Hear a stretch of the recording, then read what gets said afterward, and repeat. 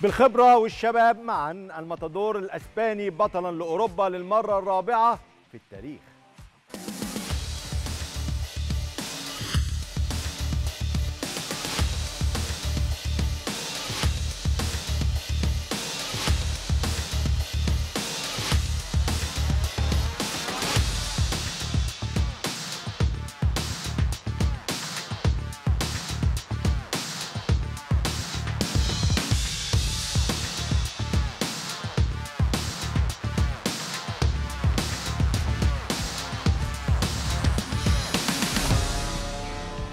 المنتخب الأسباني بطل اليورو 2024 بالفوز على إنجلترا 2-1 في نهائي.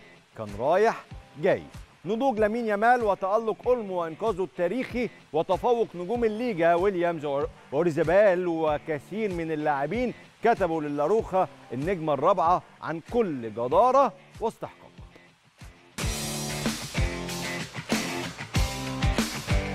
يا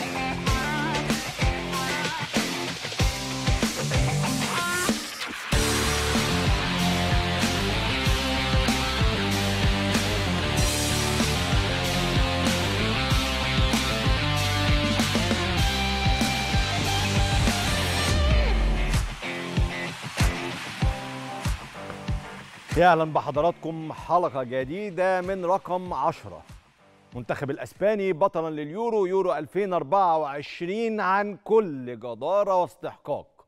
نادرا نادرا لما تكون كرة القدم عادلة. فرنسا مرشح أول إنجلترا مرشح أول ألمانيا بمنطق الأرض والجمهور وأيضا التشكيلة مرشح أول اسبانيا تيجي بعد كده مع البرتغال وهولندا وعدد من المنتخبات الأخرى. بس المنتخب الأسباني قدم أفضل أداء على الإطلاق في اليورو. ومش هبالغ. لو قلت إنه مفيش ولا منتخب في اليورو قدم أداء كويس. بالمناسبة في رأيي أنا من وجهة نظري أنا دي من أقل بطولات أوروبا على مر التاريخ اللي فيها متعة.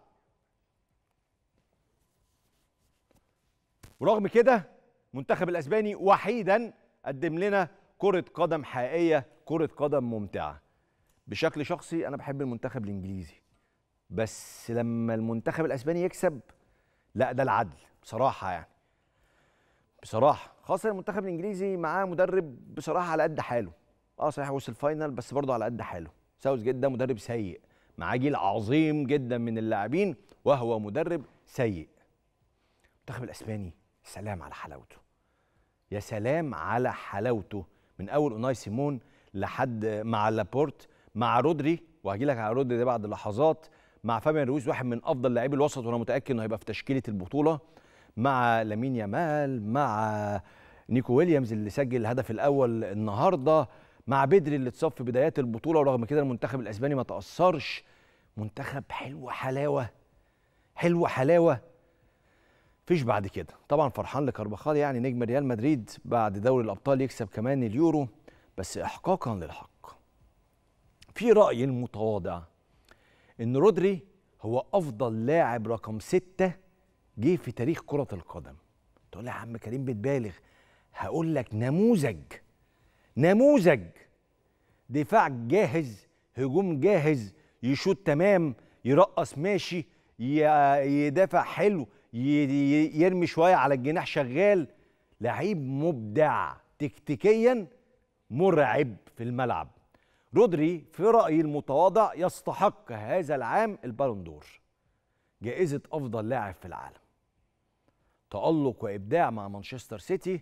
الآن يفوز ببطولة اليورو مع المنتخب الأسباني. قول لي مين مين غير رودري ممكن ياخدها؟ مثلا هتقول لي بيلينجهام. هقول لك ما كسبش مع إنجلترا.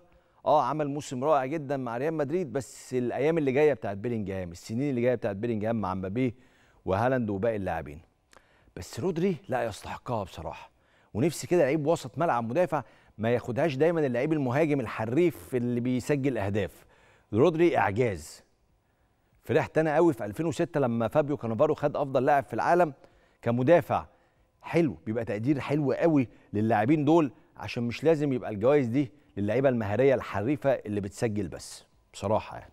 فأنا رأيي رودري ياخد جائزه أفضل لاعب في في العالم. في لقطة النهارده بمليون جنيه مليون إيه؟ مليون جنيه استرليني. هاري كين وهو خارج من الملعب في الدقيقة 70 أنا قلت يا ساوث جد. في حد بيخرج هاري كين من الملعب أفضل مهاجم في العالم؟ واحد من أفضل المهاجمين اللي جم في تاريخ إنجلترا إن لم يكن أفضل مهاجم جه في تاريخ إنجلترا بالفعل.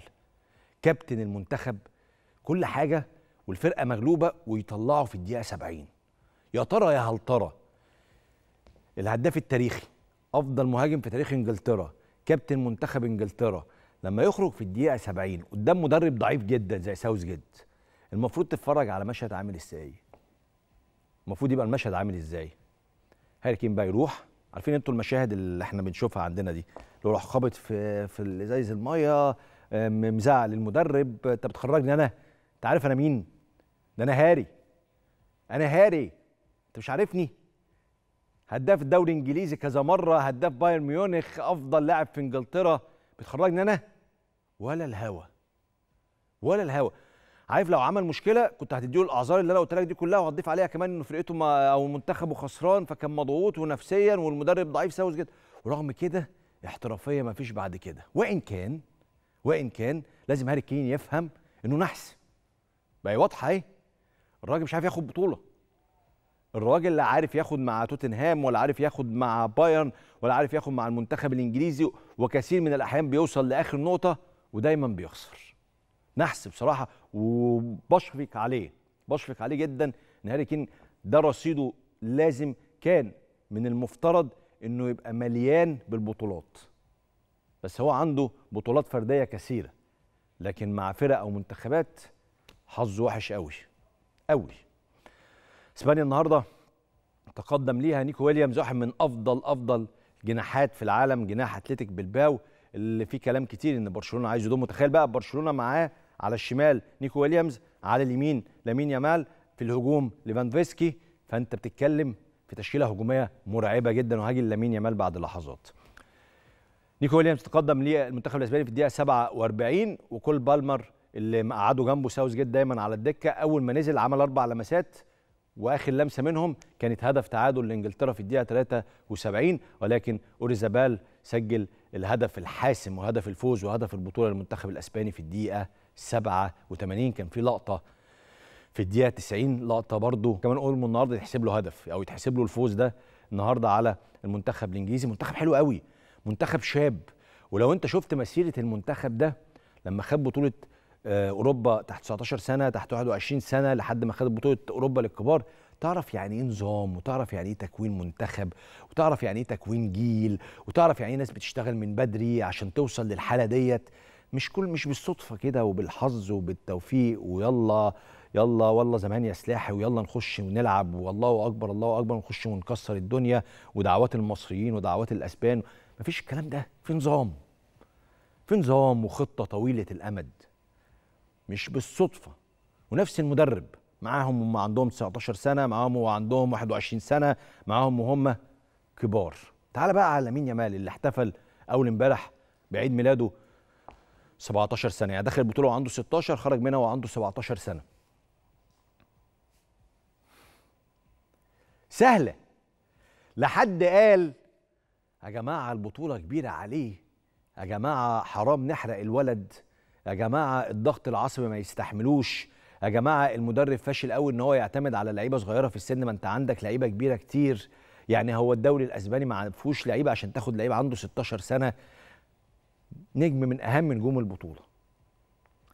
نفسي البطولات اللي زي دي ندون فيها الدروس. وإن كنت ممكن أنزل برهان وإن كان الرهان حرام يعني بس ممكن نتفق أنا وأنت اتفاق إنه غالبية المسؤولين عن الكورة في مصر مش هتلاقيهم بيتفرجوا على البطولة أصلا أساسا يعني. فاللي إحنا بنشوفه أنا وأنت ده ممكن هم ما يكونوش شافوه أصلا. الملاحظات اللي أنا وأنت دوناها دي ممكن أنا بقول ممكن الله أعلم بس ممكن أو أغلب الظن ما كانوش شافوها أصلا ولا دونوها.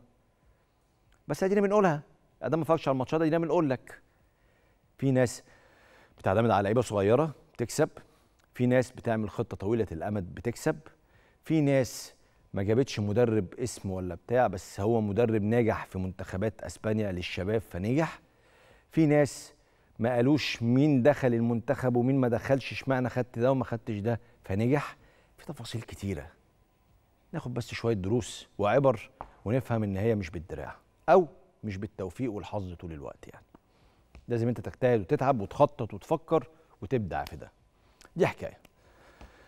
نيجي بقى عندنا هنا منتخبنا الوطني الأولمبي اللي أنا إن شاء الله متوسم فيه خير في الأولمبياد بإذن الله وتحديدا بسبب ميكالي. الراجل ده مدرب محترم جدا متفائل. وطبعا في عندنا عناصر عظيمة بس طول ما أنت عندك مدرب كبير حتى لو ما عندكش أفضل العناصر تبقى مطمن شوية. وديه ما شفناهاش يعني كان تعادل مع المنتخب الأوكراني بهدف لكل آه، فريق كان مباراة في استعداداتنا للأولمبياد إن شاء الله. هدف أوكرانيا الأول جاء في الدقيقة 12 وبعد كده البديل أحمد عاطف قطة سجل هدف التعادل في الدقيقة 75 هنلعب إن شاء الله مباراة أخرى يوم الأربعاء اللي جاي أمام المنتخب العراقي والدان. بالمناسبة مباراة أوكرانيا النهارده شارك فيها زيزو وشارك فيها أيضا محمد النني كابتن منتخبنا الأولمبي.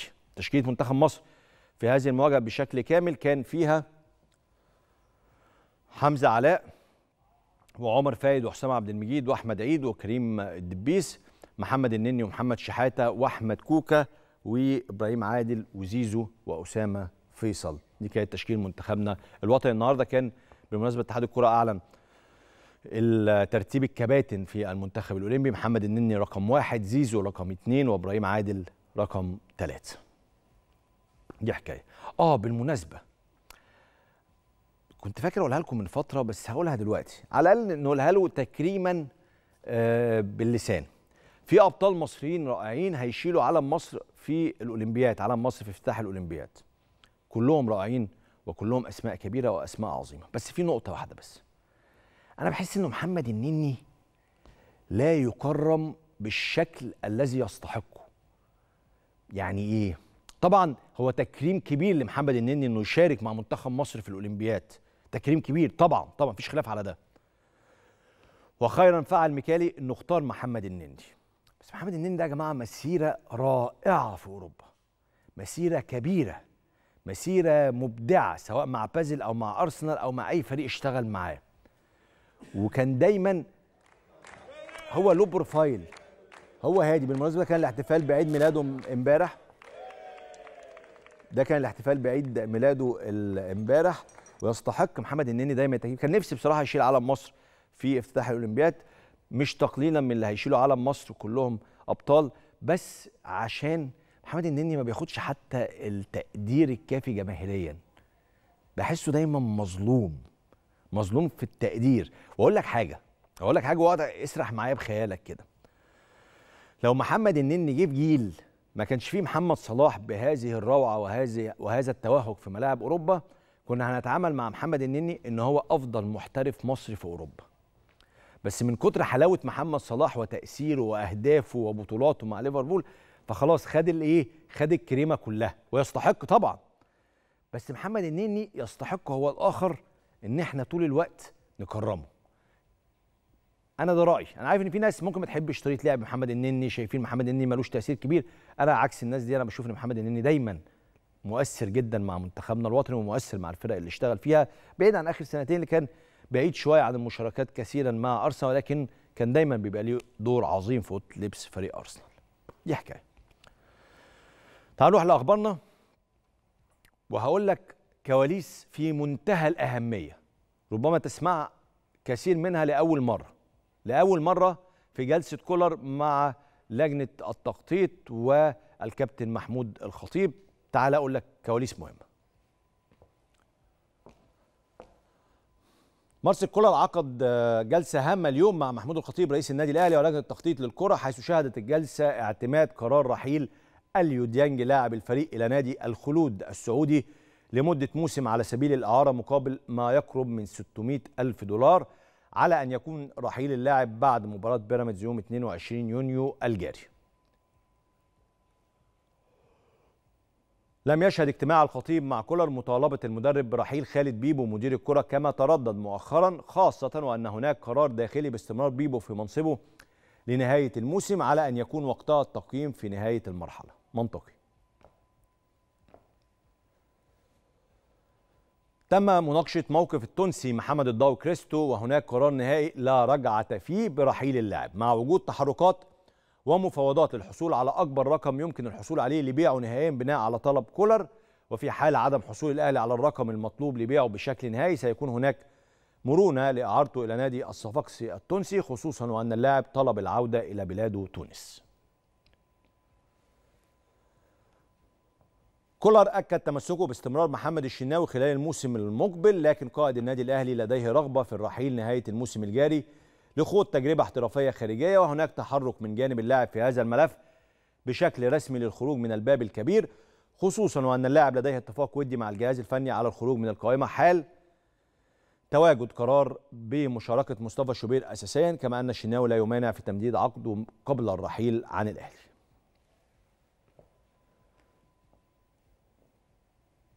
ملف المهاجم الأجنبي تم مناقشته أيضا في الجلسة خصوصا أن صفقة جوناثان اوكيتا مهاجم زيورخ السويسري ليست في المتناول في ظل مغالاة ناديه في مطالبه المالية التي وصلت إلى 2 مليون يورو. وهكلمك شوية عن هذا اللاعب بعد شوية. اوكيتا تحديدا. اوكيتا بحسب صحيفة بليك السويسرية النهارده آه في كلام إن الأهلي عايز يضمه. لاعب جوناثان أوكيتا الأهلي عايز يضمه من زيورخ الأسباني بناء على رغبة من مارسيل كولر عفوا زيورخ السويسري لسه عايش مع الأسباني عشان أسبانيا اليورو. مارسيل كولر عايز اللاعب وفي كثير من المعلومات المهمة عن هذا اللاعب. ولما تسمع المعلومات دي هيعجبك اللاعب. بص يا سيدي وكده هو عنده 27 سنة. اتولد في ألمانيا. الدولة بتاعه والده ووالدته هي الكونغو الديمقراطية. وهو فضل هو معاه جنسيتين الجنسيه الكونغولية والجنسيه الألمانية. بس هو فضل انه يمثل المنتخب الكونغولي ولعب معاهم فعلا مباراتين رسميتين. وهو بيحب جدا المنتخب الكونغولي عشان بيحب جدا طبعا والده ووالدته. هو أو حسب التقارير يعني مرتاح ماديا مرتاح ماديا. بيلعب الكورة دي كده إيه؟ آه للمتعة. هو بيقول كده هو بيقول كده أنا بلعب الكره دي للمتعة مش لجمع الأموال. بحسب التقارير الصحفية بيقول لك إنه ثروته تقدر ب 3 مليون دولار. معرفش ده رقم كبير للاعب بيلعب في أوروبا ولا لأ بس هم كانوا كاتبين كده. هو عنده ثروة 3 مليون دولار فمريحينه. ماشي. تمام. اللاعب ده قضى مسيرته كلها في بلجيكا لكن تألقه الحقيقي جه مع فريق زيورخ السويسري. تعالى أوريك شوية أرقام عشان تعرف ليه التألق بتاعه في زيورخ السويسري. أرقامه الموسم ده أو الموسم اللي لسه خلصان ده يعني مرعبة هايلة. تعالى أوريك الأرقام. لعب 36 مباراة مع أو زيورخ. هو لعب 36 مباراة مع زيورخ. بدأ فيهم أساسي في 34 مباراة. سجل 11 هدف صنع 3 أهداف. صناعة فرص محققة 6 تمريراته المفتاحية 1.8 لكل مباراة.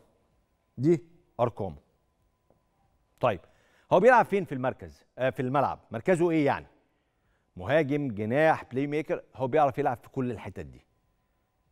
هو أقرب للجناح الأيسر بس هو بيلعب في كل الأماكن الهجومية. كل الأماكن الهجومية عنده فيها مهارات رائعة جدا. جايب لك شوية صور كمان تعرف إمكانياته. بيلعب برجله اليمين بيلعب برجله الشمال بيلعب براسه بشكل كويس بيسجل كجناح بيسجل كمهاجم كصانع ألعاب رقم 10 بص بص دي لقطات للاعب. لو الأهلي عرف يضمه هتبقى صفقة ممتازة. زي ما قلت لكم زوريخ طالب 2 مليون يورو لبيع اللاعب. هو رقم كبير بصراحة يعني. بص سريع كمان جدا. مهاري الشمال شغالة اليمين شغالة وعنده قرارات سريعة وممتازة في كل الكرات. بص دي كمان. يمين شغاله وحريف. حريف يعني يعرف يلعب تحت ضغط يعرف يحط الكرة بشكل كويس هداف كمان سيست حلو كمان. فهو لعيب مميز من كل النواحي شوف الكرة دي كمان الكرة دي حلوة قوي بص بص بص الحرفنة. لسه لسه فيها كلام. كمان. خطيئه آه خبط الصحيح. بس القرار القرار بتاعه على الجول هو لعيب خفيف مهاري حريف. زي ما أنت شايف ال footwork بتاعه ممتاز كمان.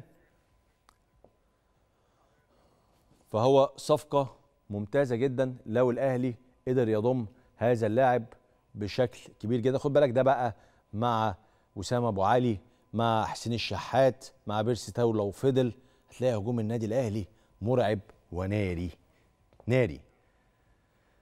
طيب محمد شريف بمناسبة يعني الكلام عنه محمد شريف ما زال أحد الحلول أمام لجنة التخطيط في النادي الأهلي ولجنة التخطيط فعلا طرحت محمد شريف على مارسيل كولر عشان يتم تدعيم الهجوم به في الموسم اللي جاي. كولر حتى هذه اللحظة ما حسمش رأيه في عودة محمد شريف وقال إنه هيكون في حل نهائي الفترة اللي جاية أو مع نهاية الموسم مع لجنة التخطيط كولر. ولجنة التخطيط يعني إن هم يتفقوا في حال رحل كهربا عن الفريق نهاية الموسم لخوض تجربة احترافية في الدوري السعودي.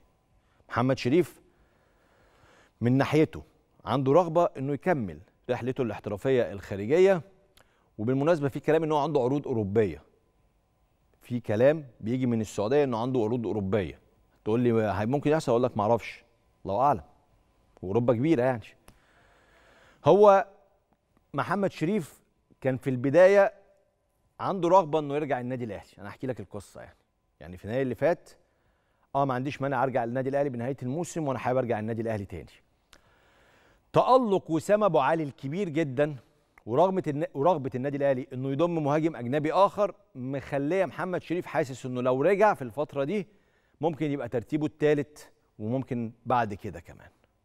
بعد كده كمان. بس محمد شريف ما زال زي ما بيقولوا كده على طاولة النادي الأهلي. والتفكير في التفكير فيه ما زال قائم ووارد جدا إنه يبقى موجود مع النادي الأهلي الموسم اللي جاي لو الأهلي استغنى عن كهرباء أو باع كهرباء لأحد الأندية السعودية. دي حكاية. حكاية أخرى. أو قبل الحكاية الأخرى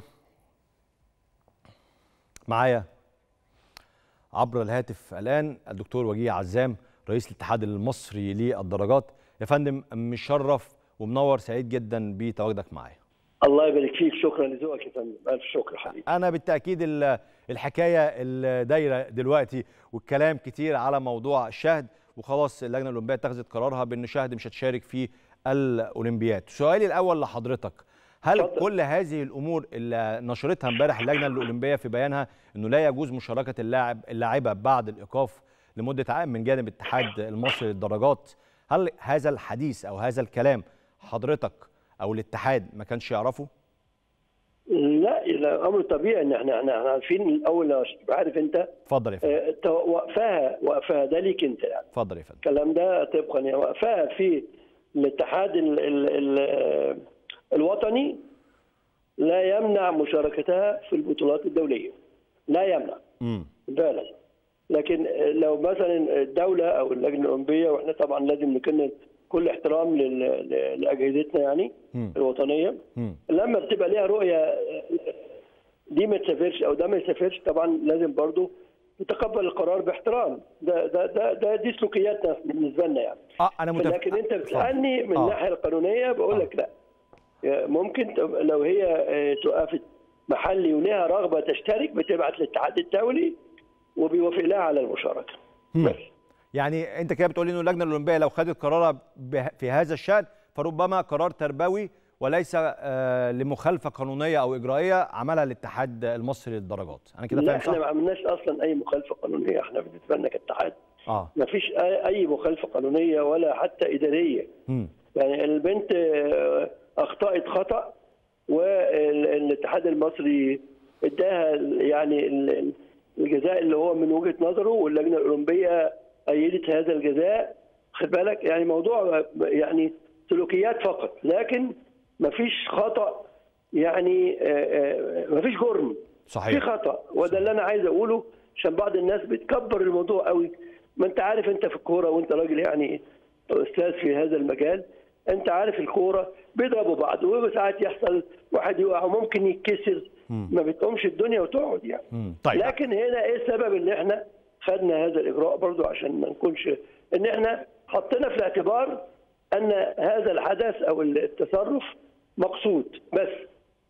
صحيح ما دخلناش في النية لكن إحنا حطينا في هذا الاعتبار عشان ما تبقاش قاعدة إن أي حد يضرب حد ويقول لك أنا مش قاصد لا اللي هيضرب هيتعاقب قاصد بقى مش قاصد هيتعاقب تمام. طبقا للقانون يعني مش هيتعاقب يعني آه، آه، طبقا للهوى طبقا للقانون. صحيح. في تصريح لحضرتك وأنا حتى علقت على السوشيال ميديا بخصوص هذا الأمر. قلت فيه إنه مصلحة آه، الرياضة المصرية إنه شهد تشارك في الأولمبياد بعيد عن أي أمر. أنا هقول لك تعليقي بصراحة وده سؤالي لحضرتك. أيهما أفضل إنه تشارك شهد وهي ارتكبت هذا الفعل اللي بالمناسبة مش هنتبعها عليه خلاص هي خطأ وخلص بس بس أيهما أفضل إنها تشارك في الأولمبياد ولا ندي مثل وقدوة لباقي الشباب إن أنت لو عملت حاجة زي كده ممكن ما تلاقيش نفسك في بطولات دولية كبيرة زي الأولمبياد شوف اولا يعني طبعا أنا بحب دايما في البدايات لما يكون أنت مثلا أول مرة تغلط مم. يبقى أنا بحاسبك بس برضو أنا عندي آه، الرفق مم. لكن اللي تكرر منك هذا الخطا يبقى حساب جازم مفيش هزار فيه مم. واخد بالك؟ لكن أنا بيبقى أنا يعني ما أعرفش جايز أنا الحس الوطني برضه لمصلحة آه، بلدي بحب إن بلدي اللي هي فرصة إنها تأهلت في حاجة زي كده ما كانش بيحصل. يعني الدراجات كانت على مدار السنين. لا تمثل مصر في الأولمبياد. آه. تمام؟ آه. فلما تيجي فرصة إن يبقى لعيبة من عندي من مصر يمثلوا مصر في الأولمبياد بالنسبة لنا إحنا حدث جديد وحدث إنجاز. واخد بالك؟ هل مش كان- هقول لك إنها كانت هتطلع مثلا أيوة. آه، في الأوائل في الأولمبياد لو أنت قلت لي كانت هتعمل حاجة. بالظبط. آه. لا بس أنا برضو أنت عارف إن يعني مش هنقول كل مستوى له دي لسه طالعة. صحيح. لسه بنربيها ولسه بنجهزها. لما تروح تشارك عينيها حتى تشارك. وما كنتش هقول لك هتطلع الأخيرة برضو ما كانتش هتطلع الأخيرة تبقى عارف يعني. لكن مش ما كانتش هتطلع الأخيرة. نعم. ما كانتش هتطلع الأخيرة. حضرتك بتقولي ما كانتش هتطلع الأخيرة. ما آه كانتش لا هتطلع طبعا. الاخيره لكن مش هتطلع الأولى. أنت فاهم قصدي إزاي؟ فاهم. يعني إيه؟ إيه- إيه- إيه- إنما اللي أنا عايز أقوله أنت النهارده عشان نعلم ولادنا وما نخوفهمش نوديهم ويشاركوا ويشوفوا تضيع الرهبة. بعد كده المرة اللي بعديها واللي بعديها تبص تلاقيهم هم بقوا دخلوا في الإيه؟ في الاحتراف. سواء الاحتراف ده بقى من الجانب النفسي أو الجانب الفعلي يعني آه. يبقوا جاهزين ل... بص يا فندم ل- أنا أنا. مبدئيا بشكرك جدا على سعه صدرك لأسئلتي وال- والكلام اللي بقوله لحضرتك بس تاني أنا أنا عارف أنت راجل كمان تربوي وراجل عندك جيل عظيم ولك منصب أيضا دولي في آه، اتحاد دولي الدرجات فكرة النموذج والمثل أنا بس أنا أكتر حاجة ضايقتني أنا عارف إن شاهد صغيرة في السن وطبيعي إنها تكون غلطت و... وكل الناس بتغلط زي حضرتك بتقول لعيبة الكورة وغير وكل الألعاب بس فكرة إنه الناس كلها شافت الفيديو ده فالشباب الصغير الأطفال الصغيرة لما يشوفوا نموذج زي ده وإحنا بنكرمه أو بنشكره وبنقول له تعالى روح شارك الأولمبياد هي ده كان خطورة الأمر لا لا وأنا. وحضرتك تحدثت. الآن وحضرتك تحدثت الآن بمنطق وطني وأكيد فكرة التربية والسلوك دوت إنه يبقى عند كل الشعب المصري برضو ده هدف عند حضرتك بص أقول. لحضرتك على حاجة. يعني أنا وأنت تقريبا في مد- مدرسة واحدة يعني. اتفضل. في اتفضل. الفكر ما احناش ما عندناش شعور انتقامي. أيوة. لما لاعب يغلط هو ده ال- الخلاف اللي بيني وبعض الناس. أيوه. سواء زملائنا الحبايب وحبايبنا الصحفيين أو غيرهم. آه. أنا ابني غلط. خلاص؟ ما اجيبش ساطور وأروح قاطع رقبته ومكسر دماغه ومقطعه 100 حتة أحاسبه على قد خطأه. مش بقول ما حاسبوش. احاسبه على قد خطأه. وافهمه وابقى جنبه. بالعكس ده لازم ابقى جنبه. عشان كده غلط. ما تعملش كده تاني. لأن دوت ممكن يضيع مستقبلك الرياضي. أو يضيع سمعة مصر لو عملت الكلام ده بره. يعني نعلم هيتعلم منين؟ هيتعلم من الخطا آه.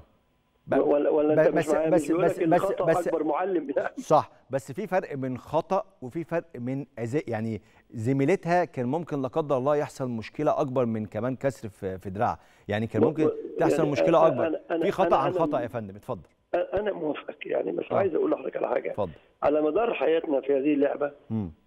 بنشوف كده كتير جوه مصر وبره مصر. مم. يعني واحد بيقول لي أنت إيه؟ قلت له أنا طبعا ما بيلاقي انطباعي عادي. مو عادي مش عادي عشان أنا مثلا آه، مقلل من قدر الحدث أو إن أنا يعني آه، مشجع لحاجة. ابدا عادي لأني بشوفه كتير جوه وبره على المستوى المصري على المستوى العربي على المستوى الدولي.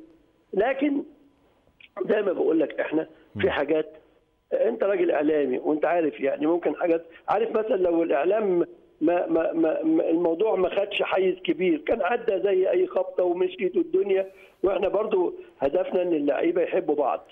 خلي بالك ال- ال- ال- تكبير هذه الأمور وتضخيمها آه. ساعات بيعمل يعني إيه مسافة بين الاثنين دول. ال- الموقف الموقف ده حصل إمتى يا فندم بعد نعم. إذنك؟ الموقف اللي هو الحادثة دي حصلت إمتى أو المشكلة دي حصلت إمتى؟ ما بقى لها فترة يعني بقى لها حوالي تقريبا شهرين كده يعني بقى لها شهرين تقريبا تقريبا آه. يعني. الاعلام الإعلام يا فندم ما تحدثش عن هذا الأمر غير من يومين ثلاثة خلال هذه الفترة ما حصلش بين الاثنين ما حصلش بين الاثنين ليه تصالح بعيد بقى عن الإعلام يعني الإعلام أنا عايز. أقول لك على. حاجة بيبقى في مرة لازم تبقى أنت برضه سعادتك يعني أستاذ في العلاقات الإنسانية والعلاقات الاجتماعية في فترة بتبقى إيه لازم تهدي الدنيا. خد بالك؟ يعني آه، شوية كده نهدى شوية ما نتكلمش. آه. تقوم النفوس لوحديها وانت قاعد لوحدك تبتدي تعيد تفكيرك وتبتدي تفكر لا اللي غلط يقول لا أنا غلطت وال- وال- واللي اتغلط في حقه يقول معلش ما أنا سامح. آه. في لا المسافة دي بتدي نوع من التفكير ال- الإيجابي. مم. لكن وأنت سخن والحدث جاهز فاهم قصدي؟ زي الحدث الحدث في وقته آه. برضه الانفعالات النفسية بتبقى مختلفة. يا رب تبقى موافقني يعني. أنا أنا. على فكرة أنا موافقك جدا جدا في حديث حضرتك دوت فيما يخص العلاقات الإنسانية ما بين البشر وبعضهم. لكن أنا بتكلم هنا أو إشارتنا كلنا إنه فكرة إن دول أبطال ونموذج. بس هو أنا بص الحكاية كلها يا فندم مش إنه البني آدم دوت مجرم. يعني شاه دي مش مجرمة للأبد. خلاص هي خطأ وانتهى. أنا بتكلم على فكرة إنه هي للأسف هتبقى نموذج لكل الأطفال وللشباب. لو ما كانش في قرارات رادعة وواضحة وصريحة وإنها ما تشاركش لو عملت كده أنت تتخيل أنت ممكن تخسر شهد وأنا زعلان إن إحنا نخسر شهد عشان هجي لك كمان على خبر اعتزالها. بس أنت هتكسب أجيال كتيرة بعد كده. تتفق أم تختلف؟ عايز أقول لحضرتك حاجة. أنا أنا وأنت اتفضل. مهمتنا طبعا هي في حالة صدمة نفسية. أيوه. والصدمة النفسية مش جت من الحدث بس. امم جت بنت صغيرة في السن بتاعها هجوم لاذع من إيه؟ من أطراف الدنيا من أولها لاقصاها لآخرها. فطبعا مش مش فايقة بتشوف عمال تك تك تك هجوم هجوم هجوم هجوم هجوم هجوم. ان وان واي خد بالك؟ فالبنت طبعا حصل لها البنت حصل لها انهيار نفسي. خلاص لا أنا مش لاعبة اللعبة دي خلاص مش يا عايزاها فندم فندم عايز أسألك سؤال معلش للمقاطعة ما تشعرش ما. تشعرش بالمسؤولية إن أنت اللي حطيتها ماسك رئيس للاتحاد في الموقف دوت لو كنت جنبتها من بدري المشاركة في الأولمبياد ولو الصورة بتاعتها ما كانتش طلعت طلعت مع البعثة اللي مسافرة كان ممكن لا، أصلا هي ما اتحطتش هي ما كانتش. اتحطت ما اتحطتش تحت الضغط النفسي ده كله اتفضل يا فندم دقيقة واحدة بس اتفضل. اتفضل أنا من بن البنت إحنا مسجلينها وبعتينها من بدري مش من النهارده. من بدري للجنه الأولمبية ومرشحه من بدري مع اللجنة الأولمبية فالأسماء نزلت في في من ضمن الأسماء اللي نزلت مع البعثة المصرية في اللجنة الأولمبية. واخد بالك؟ يعني مش أنا مثلا م- م- مكبر صورتها وعامل لا ابدا وبعدين عايز أقول لك يعني أنا طبعا أنا بشكرك أنا حاسس منك الروح الجميلة بأمانة. مش بجاملك يعني يا. يعني أنت ما أنتش ما انتش انتقامي ولا انت عايز ت... لا. لا. يعني لا. بتبحث عن الحقيقة وتوجه الجيل لك رؤية إن أنت عايز توجه الجيل الآخر. يا أيوة. جماعة ما تعملوش كده. أيوة. كده عيب. أيوه. كده غلط. بالظبط. وأتمنى يعني- وأتمنى حضرتك حضرتك تكون متفهم ده. وعلى فكرة هو يعني وجهة نظرك وجهة نظرك ما أنا بالمناسبه حسيت ما أنا حسيت بيك أهو. لا مش بس كده. وجهة نظرك كمان على وجهة نظرك حضرتك أيضا في فكرة إنه شاهد تشارك لأجل الرياضة المصرية دي برضو حاجة نقدرها ون- ونفهمها. بس هي الأصعب منها إنها ممكن لا قدر الله زي ما قلت لحضرتك يعني أجيال كتيرة بعديها ممكن تشوف المشهد ده عادي وطبيعي وممكن نكرره تاني هو دورنا إحنا بقى يا- اتفضل. دور أنا وأنت ده آه ده دور أنا وأنت إن إحنا دايما مع لعبتنا آه. ودايما بنوجههم وحتى نشوف كذا دي عملت كذا وكده غلط وكده صح صح صح الموقف الموقف وبعدين. لما يحصل حتى لو حصل من غيرها آه. ولد أو بنت آه. برضه مش هنعديه هنعاقبه وبعدين أنا ماشي بمبدأ برضه بعد إذنك. اتفضل. مش بس العقاب الثواب والعقاب. مم. يعني أنت بتحسن أنا برضو لازم أكون محسن معاك.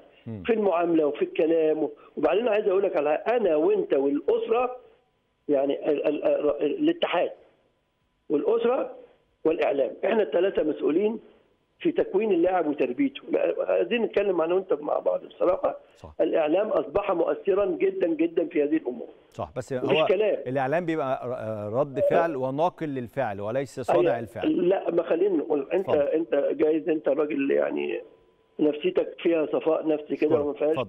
توجه انتقامي زي ما بقول لك ولا حاجة انت بتبحث عن حقيقة وعايز توضح معلومة وعايز برضه توصل توصل رسالة للشباب يا جماعة كده ما تعملوش كده يا شباب. صحيح. في المرحلة طيب. الجاية يعني ليك هدف من الحوار. يا فندم آه، شاهد الموقف معاه إيه الفترة اللي جاية؟ يعني في حالة الانهيار اللي هي فيها في حالة الاعتزال اللي هي أعلنته أنتوا موقفكم كاتحاد معاه إيه؟ بالمناسبة إحنا مش عايزين نخسر برضو واحدة ممكن تبقى بطلة في المستقبل تتعلم من أخطائها وما تكررهاش تاني ونستفيد منها في المستقبل. أكيد. أكيد. أنا بس أقول لك على حاجة برضه اتفضل. سيكولوجيا آه. في فترة معينة كده بتسيبها فيها. امم تهدى النفس تهدى. والأمور تهدى والناس تهدى. حتى اللي, هو يعني اخطئ في حقه برضه يهدى ونفسيته ترتاح ويبقى في مساحة للتسامح. واخد بالك. وبعدين نتكلم بقى في الكلام ده. لكن أنا يعني لازم كاتحاد من مسؤوليتي برضه لما يبقى في انهيار نفسي عند اللاعب. إن أنا أقف جنبه. ما خلوش يبطل. 100% و- ولازم لصالحه هو كشا... ك... يعني كلاعب لصالح اللعبة كلعبة مش كل حدث هيقابلنا مهما كان صعوبته إحنا ننهار معاه. أمال أمال إحنا لازمتنا إيه؟ أنا وأنت لازمتي إيه؟ إحنا الاثنين أنا ك... ك... كمسؤول في الاتحاد أو رئيس الاتحاد وأنت كراجل إعلامي إحنا الاثنين مسؤولين نصوب الأمور ونقف جنبيهم. أنا بكلمك بصراحة لأن النهارده لا ينكر أحدا أن الإعلام أصبح أردنا أو لم نرد جزء من المنظومة مش بيتفرج زي زمان. ده بقى جزء من المنظومة مشارك. وجهة نظري. دكتور وجيه عزام رئيس الاتحاد المصري للدرجات أنا بشكر حضرتك. شكرا جزيلا على هذه المداخلة. تعليق بسيط وسريع. أنا من أكتر الناس اللي هاجمت الفكرة دي إن شاهد تشارك في الأولمبياد. لسبب؟ هو يخص أيضا مصلحة الرياضة المصرية والنموذج اللي إحنا عايزين نوريه للشباب الصغير والأطفال الصغيرين اللي طالعين. بس بس. لكن فكرة برضو عشان أبقى أمين ذبح شهد دي ده غلط. أنا آسف هي لسه آه طفلة. يعني ما يعني ما أنا أقصد إيه هتغلط وغلطت وهتغلط تاني وإن شاء الله تتعلم من الخطأ اللي فات ما تكرروش أخطاء أخرى. كلنا بنعمل كده. وكتير من لعيبة الكورة بالمناسبة بنلتمس لهم كثير من الاعذار ونقول إيه ده تطور وذهنيا بقى أفضل وعقليا بقى أفضل وزمان كان بيعمل مشاكل دلوقتي مش عارف إيه. كل ده بيحصل. كل ده بيحصل. أنا رأيي وهفضل أقوله زي ما قلت لرئيس الاتحاد أنا شايف إنه الخطأ إنه كان أصلا شهاده ما كانتش المفروض تتحط في القائمة ما كانتش هتتأثر نفسيا زي دلوقتي. أنا متخيل حجم الانهيار اللي عندها متخيل. لو واحد بتلعب الأولمبياد بعد كام يوم؟ لا خلاص مش هتلعبش. هو ده القرار الصح إنها ما تلعبش. بس لو كان من الأول أنت موقوفة وفي في عقوبة بسنة فأنت مش هتشاركي تعالي نستعد للي جاي وتعلمي من أخطائك. كان كل حاجة مشيت بشكل سلس جدا. تاني يا جماعة عشان برضو ما نبقاش قاسيين قوي على فكرة إن الناس اللي بتغلط. لاعيبة أخطأت وخطأ كبير اتعاقبت بإيقاف سنة وكان المفروض من الأول ما تشاركش في الأولمبياد. خيرا فعلت اللجنة الأولمبية المصرية لما عملت كده إن أبعدتها مش عشان انتقام من شهد. عشان يا شهد بكل هدوء. ولما هتكبري أكتر وأكتر وأكتر هتعرفي ده إن انت بطلة ونموذج ومثل لكثير من الشباب الصغير. فكان لازم يحصل كده ببساطة يعني. لسه مكملين مع حضراتكم بعد الفاصل الكابتن الكبير كابتن محمد فاروق نائب رئيس لجنة الحكام المصرية. خليكم معانا.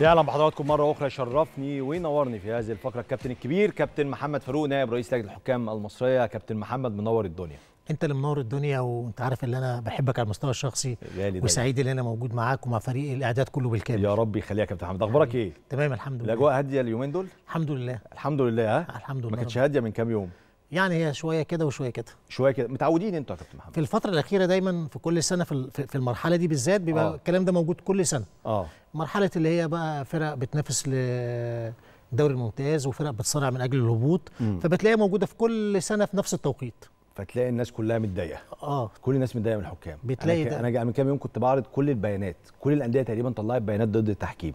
تقريبا يعني. ما هي مش كل البيانات صح. أنا متفق آه. معاك في بيانات مثلا في أخطاء. آه. بنقول في أخطاء لكن في بيانات ما فيش أصلا وردينا عليها من خلال لجنة الحكام والناس اقتنعت في أندية اقتنعت بالرد إحنا آه يعني بعد أنت بترد على الأندية؟ آه طبعا بيرد مش مش بتشوف البيان ده كده وتقول ماليش دعوة؟ لا لا لا في بيانات واتحاد الكوره مكلف مستر بريرا إن هو بيرد والراجل بيرد بمنتهى ال- الصراحة يعني. طيب ليه بالمناسبة إحنا كإعلام أو كجماهير ما نشوفش التوضيحات دي؟ يعني ليه مثلا وأنا اتكلمت معاك في القصة دي قبل كده ليه الحكام تقول ما تطلعش بيان بعد مباراة تقول والله إحنا شاهدنا هذه المباراة وكان في الخطأ الفلاني ونعترف بهذا الخطأ وخلصنا. ليه ونهدي الأجواء كلها. ده بيحصل في أوروبا يعني. وأنا أنا خلي بالك أنا مع الكلام ده. أصل عايز أقول آه. لك أو حتى لما بيبقى في أخطاء إيه المشكلة ما الأخطاء اللعيبة بتعمل أخطاء طبعاً. والأندية بتعمل أخطاء. والمدربين بيعملوا أخطاء؟ آه. لأن ده عنصر بشري موجود. صحيح. لكن بس إحنا مشكلتنا هنا اللي إحنا بناخد الخطأ البشري للحكم ونعتبره إن دي حاجة جديدة. إزاي يخطأ؟ إزاي يبقى في خطأ؟ آه. طب ما أنتوا بتبقى في أخطاء موجودة. وموجودة الأخطاء في كأس العالم واليورو وكل البطولات والكلام ده كله. آه. إحنا حتى لما حسبنا مم. لقينا اللي إحنا كنا من أسبوع كده بنعمل إحصائية مم. 273 مباراه في 8 9 ماتشات فيها أخطاء مؤثرة أثرت على نتيجة المباريات. لانها نسبة قياسا ببعض الدول اللي موجودة اللي إحنا كانت في مقارنة بيننا وبينهم لا إحنا إحنا أحسن رغم كل الأخطاء دي. دول زي مين؟ أوروبية يعني, يعني حتى مستر بيرا قال لك أنا وأنا في البرتغال آه. وفي اليونان كانت نسبة الأخطاء أعلى من كده. آه يعني توصل ل- إحنا إحنا الأخطاء عندنا التحكيمية أقل من البرتغال واليونان. آه وأقل من- خلي بالك أنا مش عايز بس أذكر دول في دول في أخطاء كبيرة جدا موجودة في الدوريات سواء دول عربية أو دول أوروبية. ف- فالأخطاء موجودة آه بنعترف ما, بن ما بنهربش. آه. لكن الأخطاء آه قياسا بالاخطاء اللي موجودة في الدول الثانية لا آه أخطاء ما مقبوله بتحبوش تعلنوا عشان حاسين الإعلان دوت ممكن يعني ينرفز الناس أو يعصبهم أكتر؟ هو دايما الاتحاد الدولي بيميل آه إن أنت ما تعلنش. أنا أنا أنا مش مع الكلام ده. بس الدوريات كبيرة الدوري الأسباني بيعلنوا عادي الدوري الإنجليزي بيعلنوا عادي. مش بكلمك على عقوبات حكام. أنا بكلمك إنه كان في خطأ في إحنا شفنا إن في خطأ في المباراة دي. بس احساسي إن أنا كمشاهد أو مشجع إنه الحكام معايا إن هو إحنا خلي بالك شافوا اللي إحنا شفناه. إحنا من ضمن الردود اللي كانت فيها حاجات وقلنا ده كان فيها خطأ. ودي ما فيهاش خطأ. ده رد على الأندية. آه رد على الأندية آه طبعا طبعا. آه أنا بس بتكلم دايما ع- ع- يا ريت تتفق معايا يا كابتن محمد. أو يعني مش مش بجبرك على ده بس أقصد إنه الجمهور كمان محتاج يعرف يعرف إنه لجنة الحكام شايفة اللي إحنا شايفينه في أي مباراة. بس انت هتقول لي آه أنا شفت يا كريم اللي انت شفته دوت آه كان في خطأ في المباراة دي وبس بس خلي. بالك آه، أنا معاك وأنا آه. وأنا من ضمن ال- الناس اللي هي بتأيد هذه الفكرة آه بس ساعات انت بتاخد الجماهير الجماهير ساعات بتاخدها بحساسية آه وبتاخدها بقى لصالح نادي ضد نادي والكلام ده كله فهمت. فانت بتبعد عن البلبلة والمشاكل يعني مم. بتريح دماغك لا مش عايزين بس عايزين عايز مشاكل. عايزين نشتغل في, في أجواء أهدى شوية يعني صح لجنة الحكام الحالية برئاسة بريرا شايفها لجنة ناجحة عايز أقول لك على حاجة بس اتفضل. يمكن أنا هاخدك ل...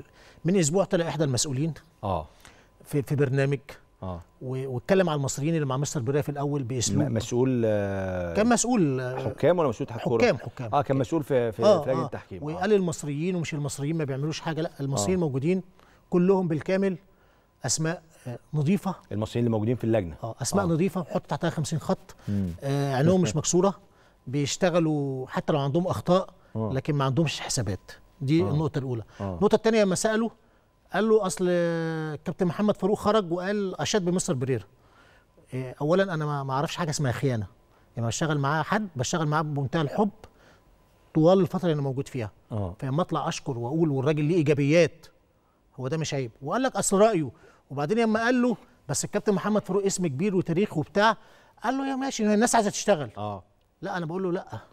انت تعرف محمد فاروق حد نظيف مش ملوث؟ و عصام عبد الفتاح عشان أنا سمعت أنا, أنا الحوار. مش ما بقولش بغض. النظر أنا بس أنا آه، بقول أنا- اسم أنا أنا سمعت هو عارف الكلام ده كله آه. وعارف اللي هو لما اشتغلت معاه كنت بطلع دافع عنه بتكلم عليه ما ما ما ما ما, ما, ما, خفتش من حاجة وكنت بشيد بيه. لكن ما تقولش محمد فاروق مش مستني شغل في التحكيم. محمد فاروق بيشتغل في التحكيم ويوم ما هيقول مش عايز اشتغل أنا مش هقول مش عايز اشتغل. ويوم ما هقول هشتغل هشتغل بشروطي. أنا القصة أنا مش باكي عليها. وهو عارف إن أنا لا عيني مكسورة ولا بدور على الكلام من الكلام الفاضي اللي بيحصل ده كله. فأنا بس بقول الكلام ده كله. لكن اللجنة اللجنة نجحت. أنا بقول لك اللجنة مصر بيها نجحت. عندهم أخطاء في أخطاء. وأنا دايما بقول كده. وحتى ما قالوا التصنيف قلت التصنيف فيه أخطاء أضرت ببعض الحكام. أنا عندي الصراحه وما عنديش كذب وما عنديش الكلام شمال ويمين ولا الكلام ده كله. بطلع بقول الحقيقة. لا إن- الناس اشتغلت في ظل ظروف صعبة جدا. الدوري ملتهب. يعني دوري لغاية دلوقتي ما انت مش عارف مين هياخد الدوري مين اللي هيهبط مين الكلام ده كله. آه، آه، بطولة زي بطولة المحترفين. أول مرة بتعمل في مصر. محافظات على أعلى مستوى بتلعب كورة بنلاعب حكام صغار السن. نجحت. ليه قسم المسؤولين تاني ليه- ليه قسم تالت. فاهم. ليه المسؤولين السابقين في الحكام دايما بيهاجموا المسؤولين الحاليين ولما الحاليين بيخرجوا بيهاجموا اللي بعديهم ليه دايما ال- الأسرة بتاعت التحكيم للأسف مش اسره. مترابطة. للأسف الشديد آه. إنك آه، دي, دي موجودة. آه. ويوم ما تيجي بكرة لجنة مصرية أيوه. هتبقى في تكتل ضدها بنفس القصة وهكذا. عشان كده الواحد أتمنى الناس يعني الناس تصلح من جواها الأول وبعد كده إيه تطلع تتكلم. لكن هو ده الموجود. وده اللي إحنا شفناه وده اللي إحنا طلعنا عليه وشفناه. شفنا حاجات قدام عينينا. عشان كده طول ما طول ما اللي بيحصل ده بيوصلنا لمراحل يا جماعة إحنا مش عايزين نوصل لكده. في الأول وفي الآخر أي لجنة تشتغل الناس كلها تقف وتساندها. لأن أنت بتشتغل التحكيم المصري مش لأشخاص لبلدك. كنت بتحب بلدك اشتغل. وادعم اللي بيشتغل. آه لكن آه الكلام الكتير وال- والحاجات دي كلها ما بتقدمش ولا بتأخر. آه، كان معايا دكتور إيهاب الكون من كام يوم وقال لي إنه بريرا خلاص مع نهاية عقده مش هيبقى موجود في لجنة آه، الحكام. هل انت مستمر في لجنة الحكام هل انت آه عندك رغبة انك ترأس لجنة الحكام في المستقبل ولا والله أنا كلام سابق لاوانه إحنا بقى شهرين على فكرة برضو مستر بر موجود مم. والمجلس آه، دعمه في آخر اجتماع وقال له إحنا معاك وإحنا ما قلناش اللي أنت تمشي أو تقعد. فيعني ال- القصة أنا بكلمك أنا أنا قلت لك من الدكتور ايهاب الكون يقعد مجلس ما أنا. عارف ما أنا آه، عارف يعني أنا مش- بقول مش- لك يعني مش معلومات. ده هو اللي. آه, آه. فالقصة لسه ما, ما, ما اتضحتش والراجل شغال وجه والأمور ماشية كويس جدا. لا أنا بعد شهرين هيبقى ليا قرارات أنا هعلنها. ومش عايز أروح اللي أنا بفكر أعمل مؤتمر صحفي. الواحد بقى يقول كل الطاقة. الدنيا ماشية إزاي بقى أصلا. طلع. الطاقة اللي عندك. آه، يعني بنسبة كبيرة إن شاء الله. آه، معلش مش عايز خلاص سيبها في المؤتمر الصحفي الأجزاء الكبيرة. بس أعرف بس الفكرة. إن أنت عايز تطلع تتكلم على فكرة لجنة الحكام كانت بتشتغل إزاي؟ ولا عايز تطلع تتكلم على فكرة المضايقات أو التضييق اللي كان عليكم هتكلم على كل حاجة بقى من ساعة ما اشتغلنا لغاية دلوقتي مع النهج الموجود مع السياسة الموجودة مع الدنيا ماشية إزاي. لا- لا- لا- لازم الناس تعرف الدنيا ماشية إزاي. أنتوا لجنة مستقلة؟ مستقلة آه. تماما؟ تماما. مفيش حد بيتدخل في قراراتكم؟ نهائي. نهائي. على فكرة المجلس ده مجلس محترم جدا. مم. وأنا بقول لك الكلام ده وزي ما قلت لك أنا مش باكي على حاجة. مم. المجلس ما بيتدخلش خالص بالعكس. ما بيتدخلش خالص. نهائيا. مين اللي جاب الحكام الأسبان في مباراة بيراميدز والأهلي؟ اتحاد الكورة. ده تدخل ولا مش تدخل؟ لا مش تدخل. لأن إحنا إحنا إحنا قايلين من الأول إحنا مع الحكام المصريين. آه. اتحاد الكورة قال آه، مفيش مشكلة نجيب حكام أجانب. مفيش مشكلة. لأن خلاص إحنا وصلنا لمرحلة دلوقتي إن الحكام المصريين حكموا كل الحاجات دي كلها سوبر ودوري وكاس آه مصر بس إذا حسب كلام حضرتك ده أنا هنا مش لجنة مستقلة 100% عشان لو لجنة مستقلة 100% أنا اللي هقول يا إما حكام مصريين يا إما حكام أجانب تدخل من أحد هنا أنت بتقول لي آه، اتحاد أنت الكوره ساعات المصلحة العامة آه في توقيت معين آه. إنك هم نادي طالب نادي أو أكتر عايز حكام أجانب آه. ما فيهاش مشكلة الكلام ده كان زمان. لما كنت تخاف تلعب حكم أهلي وزمالك أو أهلي وبيراميدز أو زمالك وبيراميدز. وتبقى لا لا الحكام نجحت مرة واثنين وثلاثه واربعة وانت ش... وانت شاهد على هذا الكلام. فخلاص القصة خلاص ما فيهاش مشكلة. لكن لما الاتحاد يقول هنجيب حكام أجانب خلاص هات حكام بس أجانب. الحكام بقى الأسبان ده قرار اتحاد الكورة. بس اتحاد الكورة هو اللي اختارهم كمان أو هو اللي اتفق معاهم مش لجنة الحكام آه، إحنا طبعا سألنا وقلنا آه. بحيث لو في آه، أي متطلبات إحنا نقدر- نقدر نعملها. لا كان في رد من إحدى المسؤولين قال إحنا خلاص هنجيب الحكام الأجانب. آه فانت لم تتدخل تماما خلاص كلجنة؟ بقى أنا خلاص ما دام انت هتجيب حكام اجانب هات. أنا مش هتفرق معايا أجيب من ألمانيا من فرنسا من إيطاليا. القصة مش هتفرق معايا في حاجة. ينجحوا ما ينجحوش مش مشكلة. لا أتمنى طبعا نجاحهم طبعا لأن أنا فاهم. نجاح المنظومة بس أتمنى مثلا طبعا. لما جه طاقم التحكيم الأسباني دوت والأسماء وصلتك وأنت أكيد مطلع وعارف كل الأسماء دي هل أنت كنت شايفه طاقم تحكيم جيد؟ ما أنا ما أقدرش أحكم عليه من قبل المباراة لأن ممكن يكون حكم دولي صاعد ممكن يكون حكم في بلده كويس جدا ما أقدرش اللي أنا عشان هو مش معروف مثلا أو آه. مثلا مش مصنف أيوة. أقول اللي هو حكم وحش. أداؤه أيوة. هو اللي أداؤه في الملعب هو اللي يقول لي. آه. أداؤه في الملعب كان عامل إزاي من وجهة نظرك؟ ده ما عجبنيش طبعا. ما عجبكش؟ لا طبعا. آه. بمنتهى الأمانة يعني. آه، حسيت إنه ده يجيب حق الحكام المصريين؟ رد على الناس. رد على رد على ناس كتير جدا. آه. حكامنا بخير. حكامنا بخير فعلا يعني. آه. بس ما حدش عمل مشكلة. يعني أنا بتفرج على المباراة يا كابتن محمد حتى آه، كنت قاعد مع بعض الأصدقاء قلت لهم ده ما فيش واحد راح اعترض حتى ولا قال له يا كابتن مش فاول. ما بتبقاش بتتضايق وأنت بتتفرج على الكلام دوت. يعني بحس إنه اللعيبة عندنا فعلا لما يبقى في حكم أجنبي منتهى الالتزام. منتهى الالتزام للأسف الشديد. يعني حكم مصري بيبقى طول الوقت في زعيق وفي خناق طول الوقت. بالرغم إن هم في آخر ماتشاتهم بصراحة برضو عشان أدي برضو الأندية حقها كان في التزام وكان في وكان آه، التزام الأندية. كانت إحدى نجاحات الحكام في الماتشات الكبيرة اللي هي اتلعبت. يعني برضو في في في, في الفترة الأخيرة من ضمن عوامل نجاح الحكام الأندية فعلا ساهمت في نجاح الماتشات. لا ساهمت بشكل واضح. آه كان ليها دور طبعا كان في التزام أنا شفت برضو عينيا حتى لو كانت في بعض الحاجات الصغيرة لكن كان في التزام واحترام نادي الأهلي ونادي الزمالك ونادي بيراميدز. في لقطة أثارت الكثير من الجدل عند كثير من خبراء التحكيم والجماهير والمسؤولين وكل شيء. بس عدت برضو مرور الكرام لقطة ضربة جزاء اللي اتحسبت لحسين الشحات في مباراة بيراميدز أنت كلجنة حكام لو حكم مصري هو اللي عمل أو خد القرار ده أنت كنت هتقيم القرار ده إزاي؟ ما انت برضو خليك روح للحتة الثانية ان. آه. كان برضو في بعض الأخطاء لصالح برضو نادي ما اتحسبتش فكنت يعني يعني كان الأخطاء هنا وهنا تقصد آه الاخطاء كانت موجوده هنا وهنا آه كانت. الاثنين آه طبعا. بس الكرة دي كانت عشان بس سجل منها هدف يعني سجل منها هدف. ما الألعاب الثانية لو اتحسبت كان هيسجل منها هدف برضو آه الألعاب لصالح الأهلي. آه لو اتحسبت كانت هتبقى ركلات جزاء ويسجل آه يعني. تقصد إنه كان في أخطاء لصالح آه الأهلي وأخطاء لصالح بيراميدز وأخطاء ضد الفرقتين. كانت في أخطاء موجودة في المباراة عامة يعني. آه بس الكرة دي تحديدا. شفتها ضربه جزاء ولا لأ؟ لا طبعا. لا طبعا. لا طبعا. أنت قلت قول ما فيهاش. ما أنا بكلمك بمنتهى الأمانة يعني. آه. لكن. شفت بعض الألعاب ألعاب صريحة وركلات جزاء. برضه آه دي. لصالح النادي الأهلي طبعا. لصالح النادي الأهلي. آه طبعا. ال- الكرة اللي كانت في الشوط الأول اللي كان آه، foot on foot اللي هي بتاعت محمد آه، عبد المنعم غالبا يعني. دي كانت ضربة جزاء آه برضه. للأهلي. آه طبعا. هايل ودي كرة ودي كرة لحسين ال- ال- الشحات. وانت قلت لي طبعا مش ضربة جزاء. خلاص ما هو كابتن محمد اتكلم عنها. دي حكاية. تمام. المباراة اللي جاية فيها حكام أجانب برضه الاهلي وبيراميدز؟ آه. هتختاروهم أنتوا ولا برضه اتحاد الكورة؟ لسه ما اتكلمنا لو اتحاد الكوره كلفنا ان إحنا نتواصل هنتواصل. هم خدوا اللي هم يجيبوا حكام ما فيش مشكلة. مفيش مشكلة عادي. لا عادي. ما تقولش مثلا إيه لمصلحة الحكام ومصلحة التحكيم وإنه يأدوا بشكل كويس سيبونا إحنا نختار. يعني أنت اللي تقنعهم بده. خلي بالك أصل هو الهدف واحد أنا هختار هدور على المصلحة العامة. أيوه. اتحاد الكوره برضو أكيد بيدور على المصلحة العامة. يعني مش معقول اتحاد الكوره هيدور يجيب حكام دون المستوى عشان تيجي تحكم مباراة؟ ما هو أنا كريم لو قلت لك مثلا يا كابتن محمد أنا هروح أجيب حكام أجانب للماتش الجاي. هتقول لي ببساطة شديدة آه، يعني ما انت برضو ما تعرفش الحكام. يعني كريم أنا ما أعرفش الحكام أنا ما فهمش في التحكيم بنروح لأهل العلم. فانت الراجل اللي عارف الحكام وانت عارف الحكام اللي في العالم وانت عارف تصنيف الحكام في العالم. برضو برضو يعني برضو هي. هي, هي, هي القصة قريبة برضو لأن هم برضو في ناس برضو عندها ملمة برضو بنفس الكلام وملمة بالحكام الكبار والحكام اللي موجودين. مم. فالقصة واحدة يعني بالنسبة لنا. أنا تفرق معايا بقى لما تبقى حكام مصريين. آه. أنا أدور وأبحث بنفسي وأحط الحكام على قدر المباراة آه. ويبقى هو ده دوري الكبير اللي أنا مهتم بيه. كابتن محمود عاشور مزعلينه ليه في لجنة الحكام؟ طول الوقت أنا بسمع تصريحات منه إنه زعلان لا، بص يا كابتن محمود عاشور طبعا هو أخ وصديق وحكم كبير. طبعا. لكن خلينا نتكلم إحنا إحنا في بلد مؤسسة في دوله مؤسسات. أيوه. واتحاد الكورة مؤسسة من مؤسسات الدولة. مم. ما ينفعش إلا نخرج عن النص. ايا كان هو مين مش بتكلم على محمود. مم. وبعد كده نيجي نتهاون أو نتساهل. لا. محمود أخطأ. وفي توقيت أنا كنت أتمنى إن محمود يكون هادي. مم. لأن محمود عارف إن أنا لما تبقى في مشكلة أنا قادر إن أنا بحلها. آه. يعني كانت في إحدى الحاجات الصغيرة كده في الإمارات وأنا حليتها له في ثانية. ويوم ما هو كان زعلان كلمته في التليفون وقلت له اصبر لغاية الصبح وأنت هتلعب بكرة. إيه الحاجات الس... ما هو برضه معلش يا كابتن محمد أنا هكلمك بصراحة.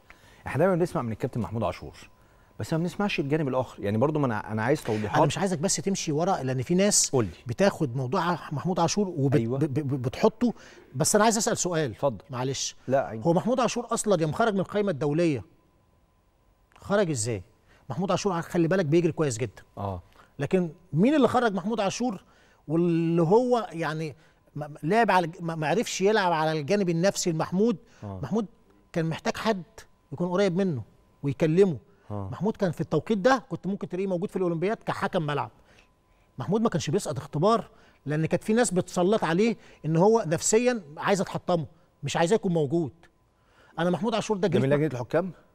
من بره بقى ولا من, من ولا منين؟ من أي مكان. عايز أقول لك محمود عاشور أنا جريت معاه مرتين. آه. مرة جري معايا في ال- في حكام النخبة ونجح وعمل أداء رائع جدا. ومرة نجح جري معايا في استاد الجيش في جهاز الرياضة. كان الوقت متأخر الساعة 12 بالليل وأنا ما أعرفش هم أخرونا ليه عشان نجري بالليل؟ وكان خلي بالك يا محمود ومش عارف إيه وأنا عرفت أتعامل معاه نفسيا وجري زي الفل ونجح. أنتوا خسرتوا محمود عاشور كحكم ملعب قبل ما تتكلموا عليه كف- كف- كفار. مين اللي خسر؟ آه. مح... آه محمد الحنفي. محمد الحنفي ده كان حكم على أعلى مستوى. امم كان ممكن يتأجل له الجري بتاعه لشهر واحد. مم. اتضغط عليه عشان يجري والإصابة جات له وخرج من القايمة. مين اللي خرج محمود بسيوني من القايمة عشان خطأ في ماتش؟ مين اللي ما كان طارق مجدي ومحمد الصباحي من زمان كانوا ممكن يكونوا في القايمة الدولية؟ هو الناس نسيت. مين يا كابتن ما أنا؟ بسأل أهو أنا بسأل. لا ده اللي عايز اسالك أنا مين؟ بسأل. هل حضراتكم اللي عملتوا كده؟ أنا كنت بحكم. آه. أنا كنت موجود في الملعب. آه. يعني عايز أقول لك تقصد إن اللي كان لجان سابقه في حاجات كتير حصلت. آه. وخرجت ناس وعملت في ناس. جايين بتقولوا أنتوا محمود عاشور وأنتوا هتوصلتوا محمود عاشور للمستوى ده؟ آه. بالعكس ده محمود عاشور واحد مننا أصلا واحد من الحكام الكبار. وإحنا بنتمنى إن محمود يكون موجود. آه. ده أنا قلت له أنا عايز أجري محمود عشان يجري وينجح ويلعب. امم فجيت وسبت الدنيا وخدت محمود عاشور وهو إحنا ضد محمود عاشور. لا إحنا مش ضد محمود عاشور. مم. واللي بيقولوا المصريين لا المصريين يشتغلوا أنا بقول لك على المستوى الشخصي كلهم اشتغلوا. من اول احمد الجرحي في الحكام صغار السن مرورا باحمد ساهر بسعيد بحمدي فتحي بمجدي كل الناس دي اشتغلت. امم وبعدين اللي, طلع قال له محمد فاروق عمل إيه في الفترة دي؟ لا أنا أقول له أنا عملت حكام. من احدى اهداف التطوير. أيوة. انك تعمل حكام. لا أنا عملت حكام في المحترفين اسألهم بخبراتي معاهم مم. وتصميمي مم. وشجاعتي معاهم إنهم يلعبوا الماتشات الصعبة. لا أنا بقى عندي 10 حكام دلوقتي ممكن أطلعهم واحد واحد دلوقتي ويقول لك يلعبوا في الدوري الممتاز. ما هو ده أصلا ده شغل. مم. ما بطلعش أتكلم ولا أقول ولا بتاع. دول شغل اللجنة. آه في في الدوري الممتاز الحكام اللي بتلعب صغار السن ده كانوا بيلعبوا ماتش ولا اتنين. ده حكام دلوقتي بيلعبوا أهلي وزمالك. بيلعبوا أهلي وزمالك. وشفنا بصراحة حكام مبشرين جدا. وهتشوف كمان في ماتش الأهلي وال... والالومنيوم والزمالك وبروكسي حكمين صغار السن اتفرج عليهم وشوفهم. هيلعبوا الأسبوع الجاي. هايل. يعني هايل. طيب. وعمرو الشناوي هيلعب بكرة في, في بيراميدز. ممتاز. فده شغل إحنا عملناه لكن الناس ما أعرفش فيه إيه بالظبط. يعني أنا أنا مش عارف والله العظيم. يعني الواحد ملتزم الصمت والهدوء لأقصى ما تتخيل. هم تخطوا كمان فكرة انتقاد بريرا ووصلوا ليك والباقي أعضاء اللجنة. يعني هو الأول كان أنا عارف فاكر زمان كان يقول لك إيه بريرا جاي عشان يتصدى للهجمات والانتقادات أو الخبير التحكيم الأجنبي. بس هو الموضوع كمان تخطى بريرا ووصل لكم أنتوا كمان. لا أنا قادر أوقف أي حد عند حده.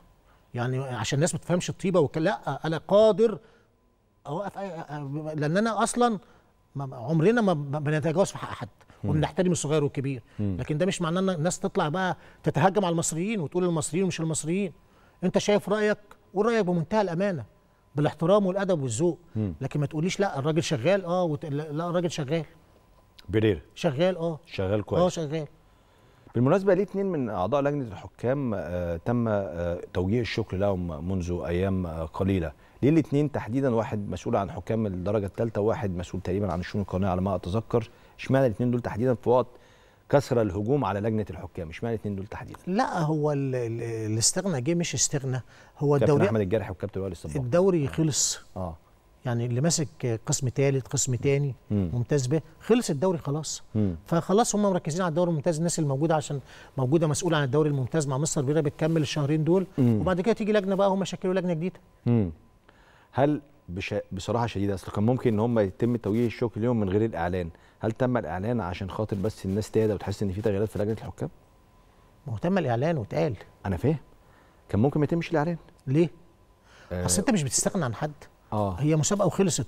يعني آه. أنت طبيعي أصلا شفت حضرتك قلت إيه؟ هي مسابقة وخلصت أنت مش محتاج طبيعي دايما في نهاية الموسم أنت آه. جميع اللجان آه. بتقدم استقالتها. آه. مع نهاية الموسم كله بيقدم استقالته. آه. للمجلس عشان تدي فرصة للمجلس يجيب لجنة جديدة أو يبقى على الموجودين بتدي له حرية الاختيار. مم.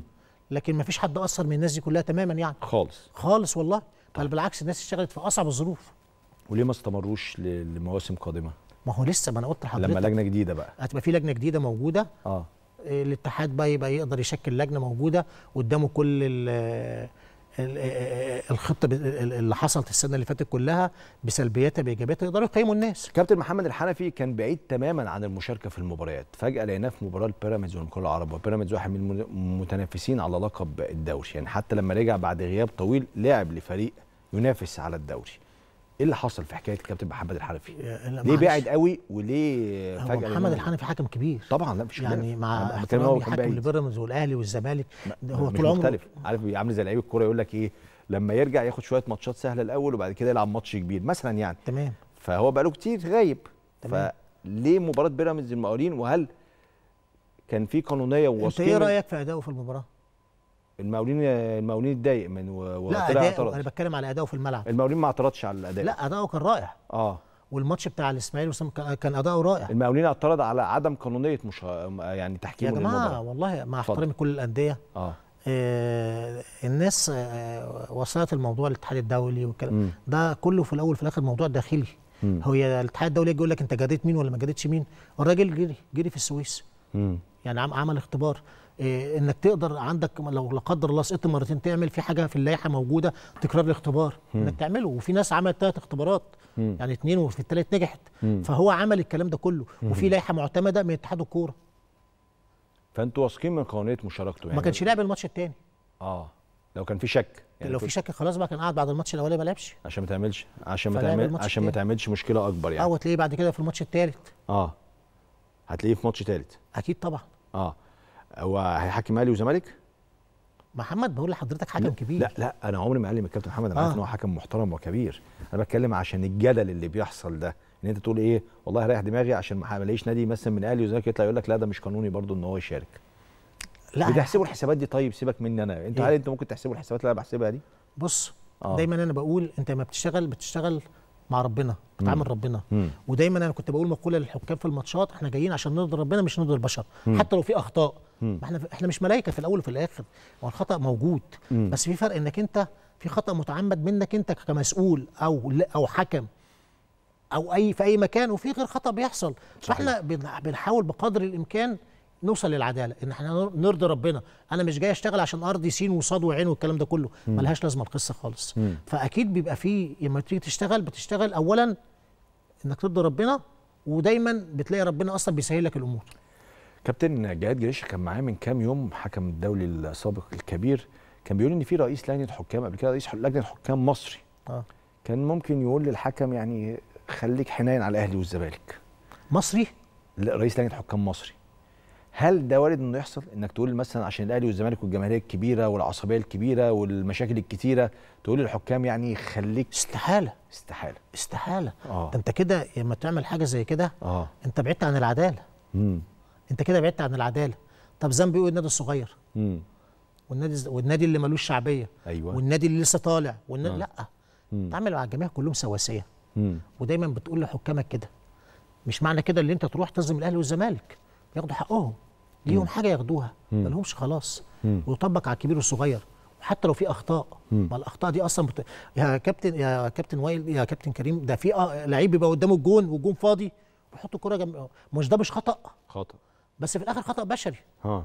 نفس الكلام في التحكيم بيبقى فيه آه خطأ لكن برضه خطأ بشري. ما عندناش حكام تتعمد أو تجامل ودي على مسؤولية الشخصية. حكام مصر كلها نزاهة. محترمين. طبعا، طبعا. نزاهه مفيش- أخلاق كل ده. لكن. في أخطاء في أخطاء. وارد. وارد آه. طبعا. آه. طيب في جملة بتتقال دايما مشهورة جدا وأكيد بتسمعها طول الوقت. يقول لك إحنا واثقين من نزاهه حكامنا المصريين بس لجنة الحكام مقصرة في تطوير الحكام. إحنا عايزين حكامنا عندهم دايما تطور. أنتوا كلجنة عملتوا إيه في تطوير الحكم المصري؟ ما هو التطوير ده أيوه. محتاج ماديات وفلوس. فاحنا ما ينفعش ما ينفعش نقعد نقول لا بن- ب- ب- في تطوير وفي معسكرات آه. بس أنا أنا على المستوى الشخصي مش هي اللي تخليني مش أنا مقتنع 100%. 100% لا طبعا آه. لا مش راضي فيها طبعا 100% آه لأن ساعات بتقابلك مشاكل مادية أيوة. مفيش فلوس مم. ساعات برضو آه، الدوري ساعات بيشتغل بطريقة يعني كل ثلاث أيام ماتش مم. فأنت حتى مش عايز مش مش مش لاحق تعمل معسكر يمكن إحنا الفترة الأخيرة عملنا معسكر في السويس ويمكن خلال الفترة الجاية دي نعمل معسكر للفار في آخر ثلاث أربع أسابيع فده ده المتاح. مم. فأنت ما تجيش تقول لي أنت ما بتطورش ليه؟ طب هو أنا مش رافض التطو- التطوير. بس لازم التطوير ده يكون ليه آليات.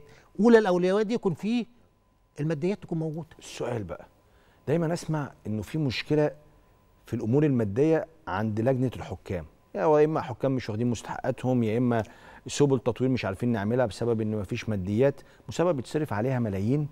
دايما ال ال العجز المالي بيبقى موجود بس عند الجزئية بتاعت لجنة الحكام معناش فلوس للجنه الحكام والباقي كله بيتصرف عليه عادي أنتوا كلجنة بقى إزاي بتصمموا أو بتصروا انه لا يا جماعة أنتوا لازم توفروا لنا كل حاجة عشان نوصل للرضا اللي انت عايز توصل له انه كل حاجة سليمة 100% والحكم التطوير بياخده بشكل كافي جدا خليني أقول لك والله بمنتهى الأمانة آه. مش مش مش كمحمد لا اللجنة وأوله مستر بريرا مم. بنتكلم على الفلوس. وبنتكلم على حقوق الحكام وبرضو آه، هدي برضو عذر للاتحاد لأن أنا شفته قدام عينيا.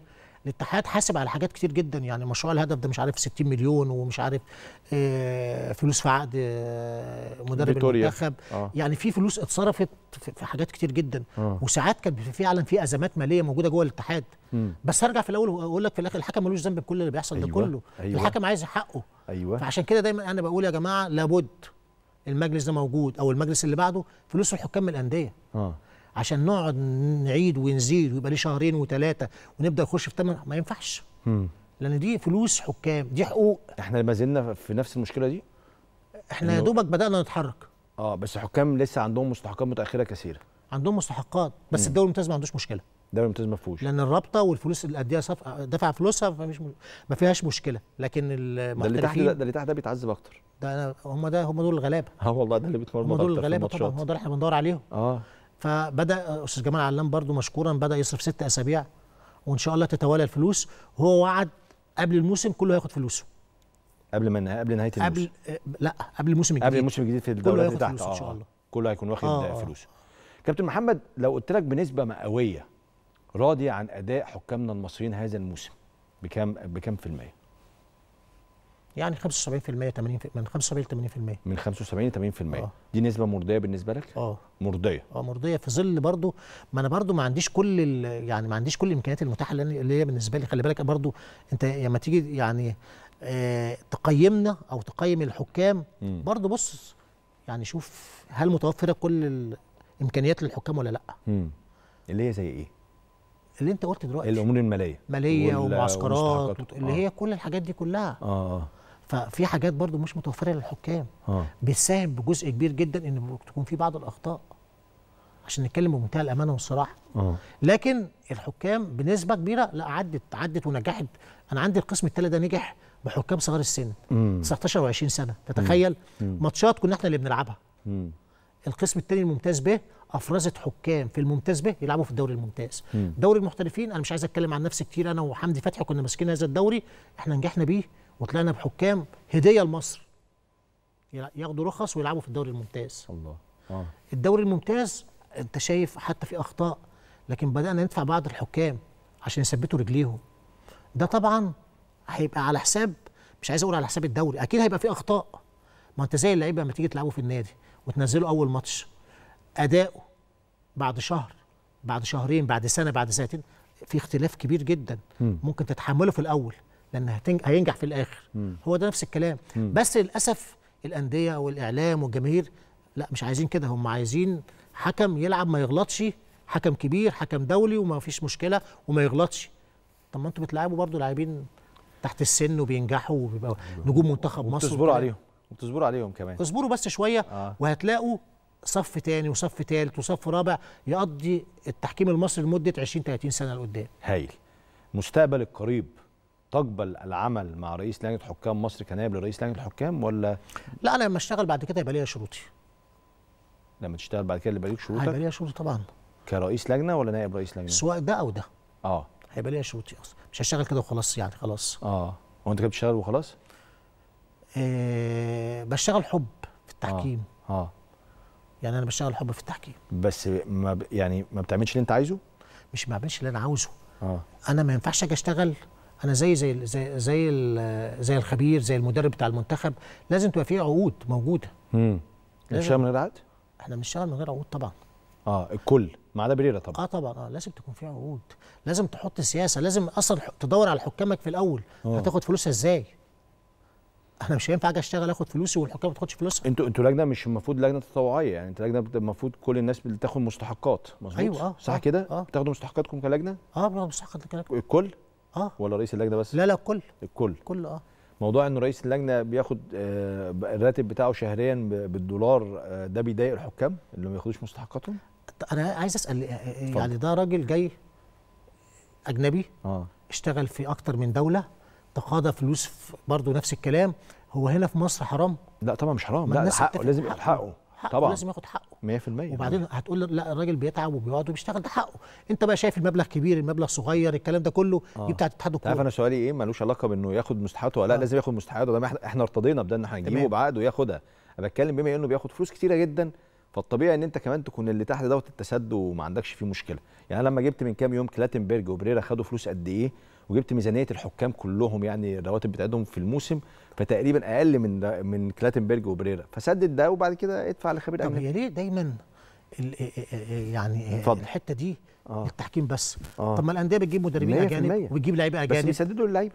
إيه؟ بيسددوا فلوس اللعيبة. طب هو ليه ما بيطلعش اللعيب مثلا في نادي يقول اشمعنى مثلا آه، اللعيب ده جيب مبلغ كبير جدا قياسا بالنسبة لي. أو أنا كمدرب في نادي ما بطلعش أقول اشمعنى المدير الفني اللي جه ده من دولة أوروبية بياخد بالنسبة لي يعني. حضرتك مش فاهمني. أنا مش بقول لك إنه الحكم اللي بيلعب في الدرجة الثانية مثلا المفروض ياخد زي بريرا.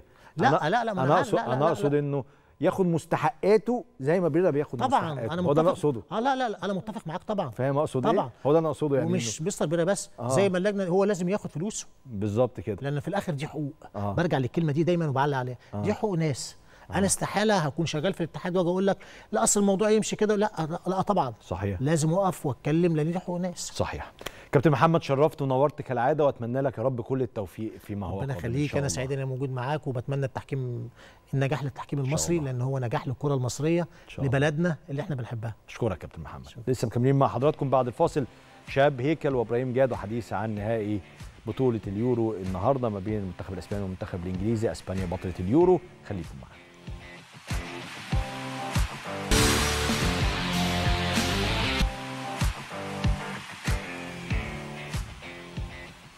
يا رب حضراتكم مرة أخرى يشرفني وينورني في هذه الفقرة. الأصدقاء الأعزاء شهاب هيكل وإبراهيم جاد شهاب منور الدنيا. حبيبك كيمو. أخبارك إيه؟ الحمد لله كله كله حلو. تمام. إبراهيم منور الدنيا. ربنا يخليك أخبارك إيه؟ زي الفل والله الحمد لله. كنت بقول لحضراتكم إن رودري لازم ياخد أفضل لاعب في العالم السنة دي بصراحة مع اللي عمله مع مانشستر سيتي ومع عمله مع المنتخب الأسباني. لسه شايف دلوقتي كمان عشان إحنا داخلين وهو الماتش بيخلص. رودري كمان خد جائزه أفضل لاعب في هذه البطولة عن كل استحقاق وجدار شايفه من أفضل اللعيبة اللي جت في التاريخ في هذا المركز ان لم يكن أفضلهم يعني على الإطلاق من حيث تكامل الإمكانيات يعني عند رودري صح؟ والله صح. جدا طبعا بصراحة. طبعا. جامد قوي يا جماعة رودري. واحد من اللاعبين الشيك يعني عارف أنت كان دايما الكابتن ميمي الشربيني يقول آه. لك أصحاب الكرافتات الشيك هو واحد من اللعيبة دي اللعيب اللي دايما عنده تكامل في منطقة وسط الملعب في النواحي الهجومية وفي النواحي الدفاعية. شفناه في وقت من الأوقات كان بيعمل block جوه منطقة الجزاء في على فرقة إنجلترا وبعد كده بيساهم في النواحي التهديفيه لمنتخب أسبانيا. فناحية التكامل الكبير ده مش هتلاقيه غير في لعيب كبير زي رودري. آه، كانت الناس دايما بتحط إن بوسكاتس هو ده محور ال... رودري ولا بوسكيتس؟ لا رودري أشمل بكتير. أيوة. يعني بوسكاتس كان لعيب كبير جدا جدا يطلع بالكورة بيعرف ي- ي- يباص يتحرك في بال rhythm. رودري بيعرف يدافع يعرف يتحرك في ال rhythm يعرف يهاجم. آه، نفكر الناس إنه في نهائي دوري أبطال أوروبا اللي مانشستر سيتي حقق فيه اللقب رودري اللي كسب الفريق بهدف من تسديدة من بره منطقة الجزاء بيعرف يلعب بال head لما يخش منطقة الجزاء بيقدم كل حاجة في الكورة. أنت عايزه هو يتحكم لك في كل حاجة في الماتش هيتحكم. عايزه يدافع هيدافع عايزه يسجل هيسجل. وقت ما الماتش هيبقى مأزم هيسدد من بعيد ويسجل هو الأشمل. يعني كان دايما الكل بيتكلم عن كازيميرو عن عن بوسكاتس. كازيميرو كان قوي جدا جدا في النواحي الدفاعية. بوسكاتس كان قوي جدا جدا في ناحية بناء اللعب. رودري جمع الاثنين مع بعض مع لمسة كده من مودريتش بتاعت. التسديد البعيد يعني. هايل قمة العدل إن إسبانيا تاخد البطولة تتفق أم تختلف؟ طبعا. يعني من أول يوم في البطولة وإسبانيا المنتخب الوحيد اللي اظهر شخصيته الطبيعية والشخصية المنطقية لاسم وقيمة آه، منتخب إسبانيا في بطولة اليورو. كمان اللعيبة ومعدل أعمار الصغير جدا لمنتخب إسبانيا والتحدي الكبير اللي عمله في ال- في ال- في البطولة ومع المنتخب إسبانيا بشكل عام كان تحدي كبير بالنسبة له. والمنتخب الوحيد اللي من أول يوم في البطولة اللي كان مقنع بداية من دور المجموعات منتخب بيحقق العلامه الكاملة خارج كلين شيت في الثلاث ماتشات ماشي بشكل جيد الادوار الاقصائيه بأدي كسبان فيها السبع مباريات بالظبط فأنت آه. بتتكلم ما عملهاش اخر هي البرازيل البرازيل 2002 وقطر في 2019 دول المنتخبين فرنسا, فرنسا لما كانت البطولة خمس خمسة عملتها في 1980 مم. آه. بس كانت البطولة خمسة بس لكن ب... ب... بالشكل الجديد فعلا هي البرازيل 2002 وقطر قطر 2019. ومنتخب آه، أسبانيا. أسبانيا دلوقتي. فمنتخب أسبانيا فعلا يستحق اللقب. المنتخب الوحيد اللي أظهر شخصيته من أول يوم زي ما اتكلمنا. ما, ما تحسش ان لا كان في ما تحسش إن كان في ناقص عند منتخب أسبانيا. تاثر إن هو ما ياخدش اللقب. لا أكتر منتخب كان يستحق اللقب. وفي الآخر هو كان هو بطل اليورو. هسألك سؤال باسم يعني. لامين يامال. آه اختراع. اختراع. اختراع يعني. إحنا كلنا شفنا كان بالنسبة لنا الايدل اللي بنتكلم عنه دايما ميسي ورونالدو. مم. ميسي ورونالدو الاثنين في سن لامين يامال ما كانوش كده. مم. ما كانوش كده في ناحية الشخصية في ناحية إن هم قادرين يشيلوا منتخب وفريق هم اللي شايلينه مم. يعني ميسي وقت ما ظهر وهو عنده 16 سنة ونص وبعدين 17 سنة كان فريقه فيه رونالدينيو وإيتو تشافي آه، إنيستا. بويول رونالدو لما ظهر في مانشستر يونايتد آه، أول ما ظهر كان بول سكولز وفان نيستلروي. وروي آه، وريو فيرديناند وجيجز وكل دول طبعا لامين يامال طالع في وقت ممكن نسميه عصر اضمحلال برشلونة الفريق لسه في أزمة اقتصادية رهيبة مش عارف ينافس فيطلع لامين يامال وعنده 16 سنة ونص فجأة يلاقي نفسه إن أنا مطالب إن أنا أشيل برشلونة مش إن أنا أقدم مستوى كويس. أنا المفروض أنا أشيل برشلونة. يروح بعديها اليورو ورايح مع منتخب إسبانيا اللي هو المنتخب معدل أعماره كله صغير خط الهجوم لامين يامال ونيكو ويليامز وداني أولمو آه، 16 سنة و22 سنة و23 سنة. فجأة لامين يامال هو نجم نجم البطولة. لامين يامال آه، أكتر لاعب بيصنع أهداف في في البطولة بيساهم مع منتخب آه، أسبانيا بخمس خمس آه، اسهامات أربع أسيستات وهدف. لعيب بشخصية مش خايف مش خايف من حاجة خالص. ولما نيجي نبص حتى على لامين يامال هنحس إن هو بدأ يعمل لنفسه تريد مارك وعنده 17 سنة. يعني بدأ يعمل لنفسه شكل وهوية لأسلوب لعبه وتسديداته ومن هو عنده آه، من هو عنده لسه آه، آه، 16 17 سنة. خلينا نيجي هنا للقطة دي تبين إن لامين يامال لسه عنده انتماء للمغرب. كان في تصريحات لامين يامال قبل بداية البطولة إن منتخب المغرب حاول فعلا إن هو يخليه يمثل المنتخب المغربي وليد الركراكي تواصل معاه والاتحاد المغربي تواصل معاه وهو رفض. وإن أنا اختياري الأول آه، إسبانيا. الفيديو ده شوية هيقول إن هو كان بيكذب شوية وهو اختار في الآخر المصلحة.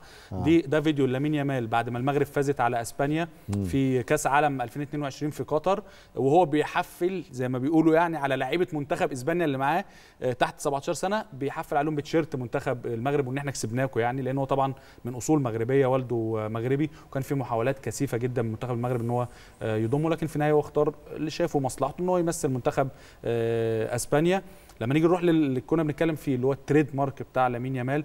هنلاقي إن السنة اللي فاتت لامين يامال كان بيلعب منتخب فرنسا في نص نهائي يورو تحت 17 سنة. إحنا جايبين ال- الهدف اللي سجله. سجل نفس الهدف اللي سجله في مرمى منتخب فرنسا في يورو الكبار السنة دي. ده الهدف آه، لما نجيبه من الأول تاني قصاد فرنسا تحت 17 سنة في اليورو. هتيجي تبص هو نفس الجون هتحس أنت شفته. لامين يامال بياخد الكورة بيقطم لجوه ويسدد في في البعيدة. ما, فيش فرصة للحارس إنه يصد الكورة دي. نروح لل- لل- للسنة دي بعد ما عدى حوالي تسع شهور بيلعب مع المنتخب الأول نقلة كبيرة من تحت 17 سنة للمنتخب الأول نفس. فيسجل نفس الهدف ده في منتخب فرنسا. في وقت فرنسا كانت بتتقدم فيه وهتبدأ تضيق الماتش على إسبانيا لامين يامال اللي يرجع إسبانيا للبطولة تاني ويقدر يقود منتخب إسبانيا إن هو ي- يكمل في البطولة ويبقى هو نجم البطولة الأول آه، بالنسبة لي. وهو زي ما قلت كده اختراع. أنا ما شفتش لعيب وعنده 16 سنة و17 سنة بيعمل اللي بيعمله لامين يامال بالثبات والشخصية والتأثير اللي هو بيعمله ده بصراحة. عظيم. إحنا لسه مكملين مع حضراتكم بعد هذا الفاصل. نواصل خليكم معنا.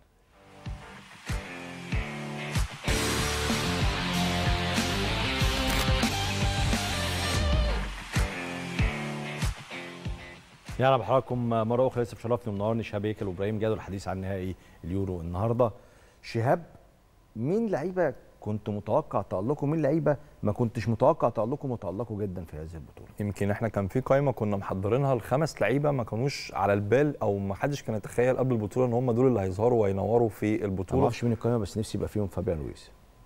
لا مو مش موجود مش موجود بس فيهم. ده خطير. موجود على فكرة. موجود ما- فيهم آه. كانتي لأن آه، نجولو كانتي هاتوا القايمه يا شباب بعد النقلة الكبيرة اللي, اللي بعد ساب آه تشيلسي وساب الدوري الإنجليزي وساب أوروبا كلها صح. وانتقل للاتحاد السعودي ناس كتير قالت خلاص هيبدأ يبعد وخلاص هيخش في إطار اللعيبة اللي بتبطل وبيتم استبعادها من المنتخب بعد سنتين غياب عن منتخب فرنسا بيرجع تاني وبيشارك مع منتخب فرنسا وأول ماتشين ليه مع منتخب فرنسا بياخد أحسن لاعب في المباراة في ال- في البطولة وبيظهر مستوى كبير وشخصية كانتي يمكن آه، يعتبر كان هو على رأس ال- ال- ال- القائمه اللي. كانت آه، اللي بعده يا اللي. اخترناها في آه.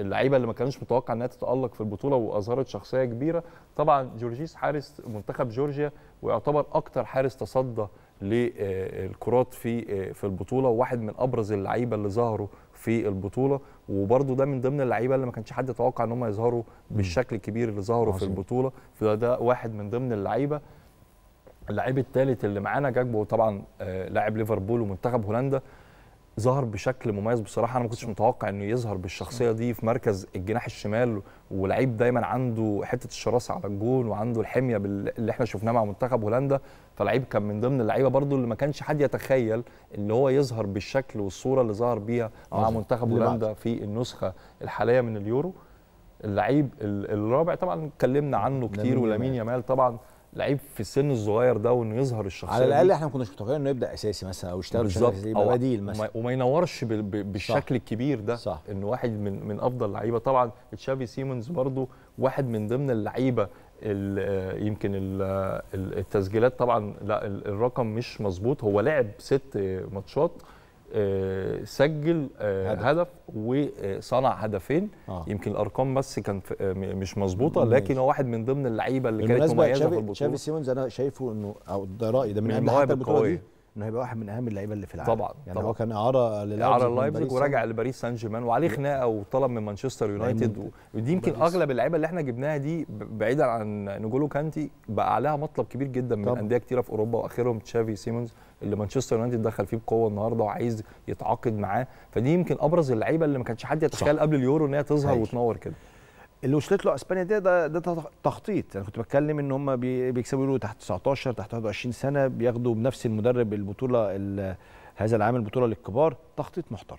طبعا دي لا فوينتي مع المنتخبات مدرب منتخبات الاتحاد الإسباني بي- بيجهزه من من 2015 تحديدا إن هو يكون هو مدرب المنتخب بعد بعد سنين. مسك منتخب تحت 19 سنة وحقق ال- اليورو. بعد كده اتنقل بعديه على طول مسك منتخب تحت 21 سنة وحقق معاه اليورو وراح شارك في في الأولمبياد. وقتها كان مع المنتخب المصري آه، في المجموعة. ومنتخب مصر تعادل مع المنتخب آه، الإسباني. وساعتها منتخب أسبانيا حقق الفضية بعد ما خسر من البرازيل في المباراة النهائية. بعد كده وصل إن هو بقى مدرب منتخب أسبانيا الأول آه، في 2022 بعد ما المنتخب أخفق في كأس العالم مشي لويس إنريكي وتم التعاقد معاه. وقتها الصحف العالمية بعيدا عن الصحف الإسبانية الصحف العالمية نفسها استغربت جدا اختيار ديلافوينتي لأنه مدرب مش معروف ما فيش حواليه هالة ما فيش حواليه ضجة. لكن الاتحاد الأسباني كان هو حاطط خطته. المدرب ده من 2015 من وقت ما بيتم تعيينه هم بيحضروه إن ده اللي هيبقى مدرب آه، المنتخب بعد كده. بالمناسبة هو الاتحاد الإنجليزي عمل حاجة أشبه بكده. ممكن اختياره ما كانش الاختيار الأمثل إن هو يعمل ده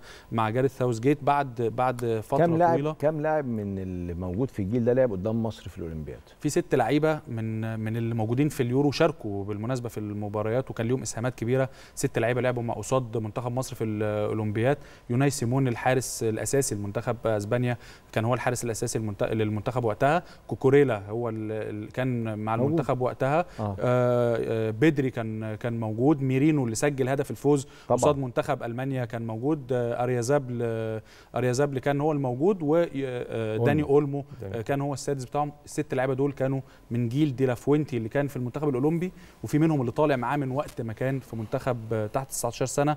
فعشان كده فضل يعتمد عليهم لحد دلوقتي وده كان سبب على سبيل المثال إنه فضل كوكوريلا على حساب آه، جريمالدو والناس كلها استغربت جدا وبيفضل كوكوريلا ليه؟ لكن هو فضله عشان هو حافظ أسلوب لعب طيب قبل ما نروح للتشكيلة المثالية من وجهة نظركم للبطولة عايز أسألك على حاجة تخص المنتخب الإنجليزي كنت عايز تكلمني على الذكاء الاصطناعي وكيفية تكوين هذا المنتخب. آه منتخب إنجلترا راح تعاقد مع آه، شركة جوجل آه، في في مجال ال AI تحديدا. الكلام ده حصل في سنة 2016 إن هم يمدوه بالداتا لتوقعاتهم من خلال الذكاء الاص- الصناعي. طبعا بعد كده بدأ يتطور الذكاء الصناعي لدرجة كبيرة جدا جدا. بس وقتها آه، هي الصورة دي اللي معانا آه، كانت قريب إن جوجل بيفتخر بشراكته مع آه، الاتحاد الإنجليزي على على صعيد المنتخبات وإن الجيل ده يعتبر إن جوجل ال AI مشارك. هو اللي مساهم فيه. هو كان بيروح يدي للاتحاد الإنجليزي بالذكاء الصناعي إن اللعيبة دي متوقع إن دي هتبقى لعيبة منتخب كبيرة بعد كده. وهم في أعمار سنية صغيرة 15 سنة و16 سنة بيتوقعوا لهم إن هم آه، هيكونوا لعيبة كبيرة بعد كده. الاتحاد الإنجليزي ما بيقفش عند الجزئية دي. الاتحاد الإنجليزي بيبدأ يخاطب أنديتهم إن أنتوا عندكم اللاعب الفلاني في في الفئة العمرية دي. ده. لاعب potential مهم. إحنا محتاجين نشتغل عليه ونطوره لأن هو ده مستقبل الكرة الإنجليزية. في لعيبة منهم بيبقوا عندهم جنسيتين فيبدأ الاتحاد الإنجليزي يضغط إنه يبدأ إحنا عايزينك تبقى معانا في المنتخب ال- الإنجليزي بعد كده. فيبدأوا يشتغلوا. من خلال الداتا اللي بتجيلهم من ال AI والذكاء الصناعي إن هم يشتغلوا على الجزئية دي ويمدوا بيها الأندية إن يشتغلوا معانا على الجزئية دي عشان إحنا عايزين المنتخب ده. فوصلنا إن إحنا قدام منتخب الإنجليزي حتى لو خسر البطولة وحتى لو مدربه ساوثجيت المنتخب الإنجليزي هو أقوى squad في العالم حاليا بفرق كبير جدا. أنا أقرب حد ليه؟ طبعاً. بسبب الشراكة دي. طبعا أنت فاهم إن المقارنة حرام. جدا في الحالة دي جدا وكل. شيء يعني عشان عارف حرام. المقارنة يعني آه ف- المقارنه حرام مش هينفع خالص صح. حرام مش يعني هينفع حرام يعني يعني. حرام فعلا. إحنا نقارن يعني شباب التشكيله المثالية من وجهة نظرك في هذه البطوله والله يمكن ال- اليورو زي ما اتكلمنا من شوية إن في آه. لعيبة كتير ما كانتش آه، ظاهرة بشكل جيد أو اللي هي ما كانش متوقع إنها تظهر بالشكل الجيد ده لكن زي ما اتكلمنا من شوية على اختياراتنا آه. كان موجود فيها برضو آه، جورجي برضو حارس منتخب جورجيا في حراسة المرمى وقلنا إن هو أكتر حارس تصدى مامارداشفيلي آه مارتش إحنا قعدنا نحفظه طول البطولة. اسمه اسمه اسم يعني المنتخب كله اسم كان كله صعب, صعب بس يعني. وإيمريك لابورت بصراحة أنا شايفه واحد من أفضل. اللعيبة اللي أدت في البطولة الحالية لاعب نادي النصر السعودي. ومارك جويهي برضو آه، مدافع منتخب إنجلترا اللي دخل في البطولة مؤخرا بس أظهر شخصية كبيرة. وطبعا كايل ووكر بصراحة أدى بشكل جيد مع منتخب إنجلترا. وناثان آكي أنا شايف واحد من من أفضل اللعيبة اللي. كانت موجودة وكان لو كمل مع منتخب هولندا كان هيأدي بشكل آه، آه، جيد طبعا آه. رودري اتكلمنا عنه كتير آه. ويعتبر هو أفضل لاعب موجود في البطولة نقوله كانتي ادينا له حقه برضه لامين يامال ونيكو ويليامز دول يمكن أبرز اثنين لعيبة موجودين على الأطراف وبيلينجهام طبعا مع منتخب إنجلترا وجاكبو أنا خدته في حتة الهجوم راس عشان الحربة تكمل إنه آه كان يستحق إنه يبقى موجود أي واحد مش هيحط فابيان رويز آه أنا مش هشتري معايا يا باشا. معاك آه، جايب فابيان أنت رويز. صاحبي فابيان رويز، آه. عشان أنا أكتر واحد معجب بيه في آه، البطولة طبعا مع رودري بس فابيان عمل يعني. بطولة آه، عظيمة. جدا بصراحه أو كمان بالمناسبة فابيان عشان هو خارج ال expectations يعني ما. كانش متوقع إنه يتألق بكل من التألق ضمن. اللعيبة نروح لتشكيلة إبراهيم جاد. آه، هكون متفق مع شهاب يعني لما نجيب التشكيلة بتاعتي هنجيب لك في التشكيلة. حراسة أيوة. المرمى طبعا برضو جورجي آه، مامارداشفيلي آه، حارس فالنسيا الأكثر تصدي في البطولة. هروح للباك الشمال هروح لفيردي كاديوجلو ظهير تركيا وفنربخشة عليه خناقة كبيرة دلوقتي جدا في الميركاتو. مارك جويهي بشوف النق- النقطة المضيئة في منتخب إنجلترا في البطولة على مستوى الأداء لعيب كويس جدا جدا. أوباميكانو مع منتخب فرنسا بشوف إنه ما خدش حقه خالص من من الإشادة. وستيفان بوش منتخب النمسا كان من أسباب تفوق النمسا والأداء الكويس جدا اللي قدموه. رودري طبعا ما فيش خلاف عليه وأنا أشوف فابيان رويز آه، آه، نقطة مهمة جدا وجزئية مهمة جدا في منتخب آه، إسبانيا. بعدها لامين يامال طبعا هيكون موجود معانا. أردا جولر عمل بطولة كبيرة جدا مع منتخب تركيا.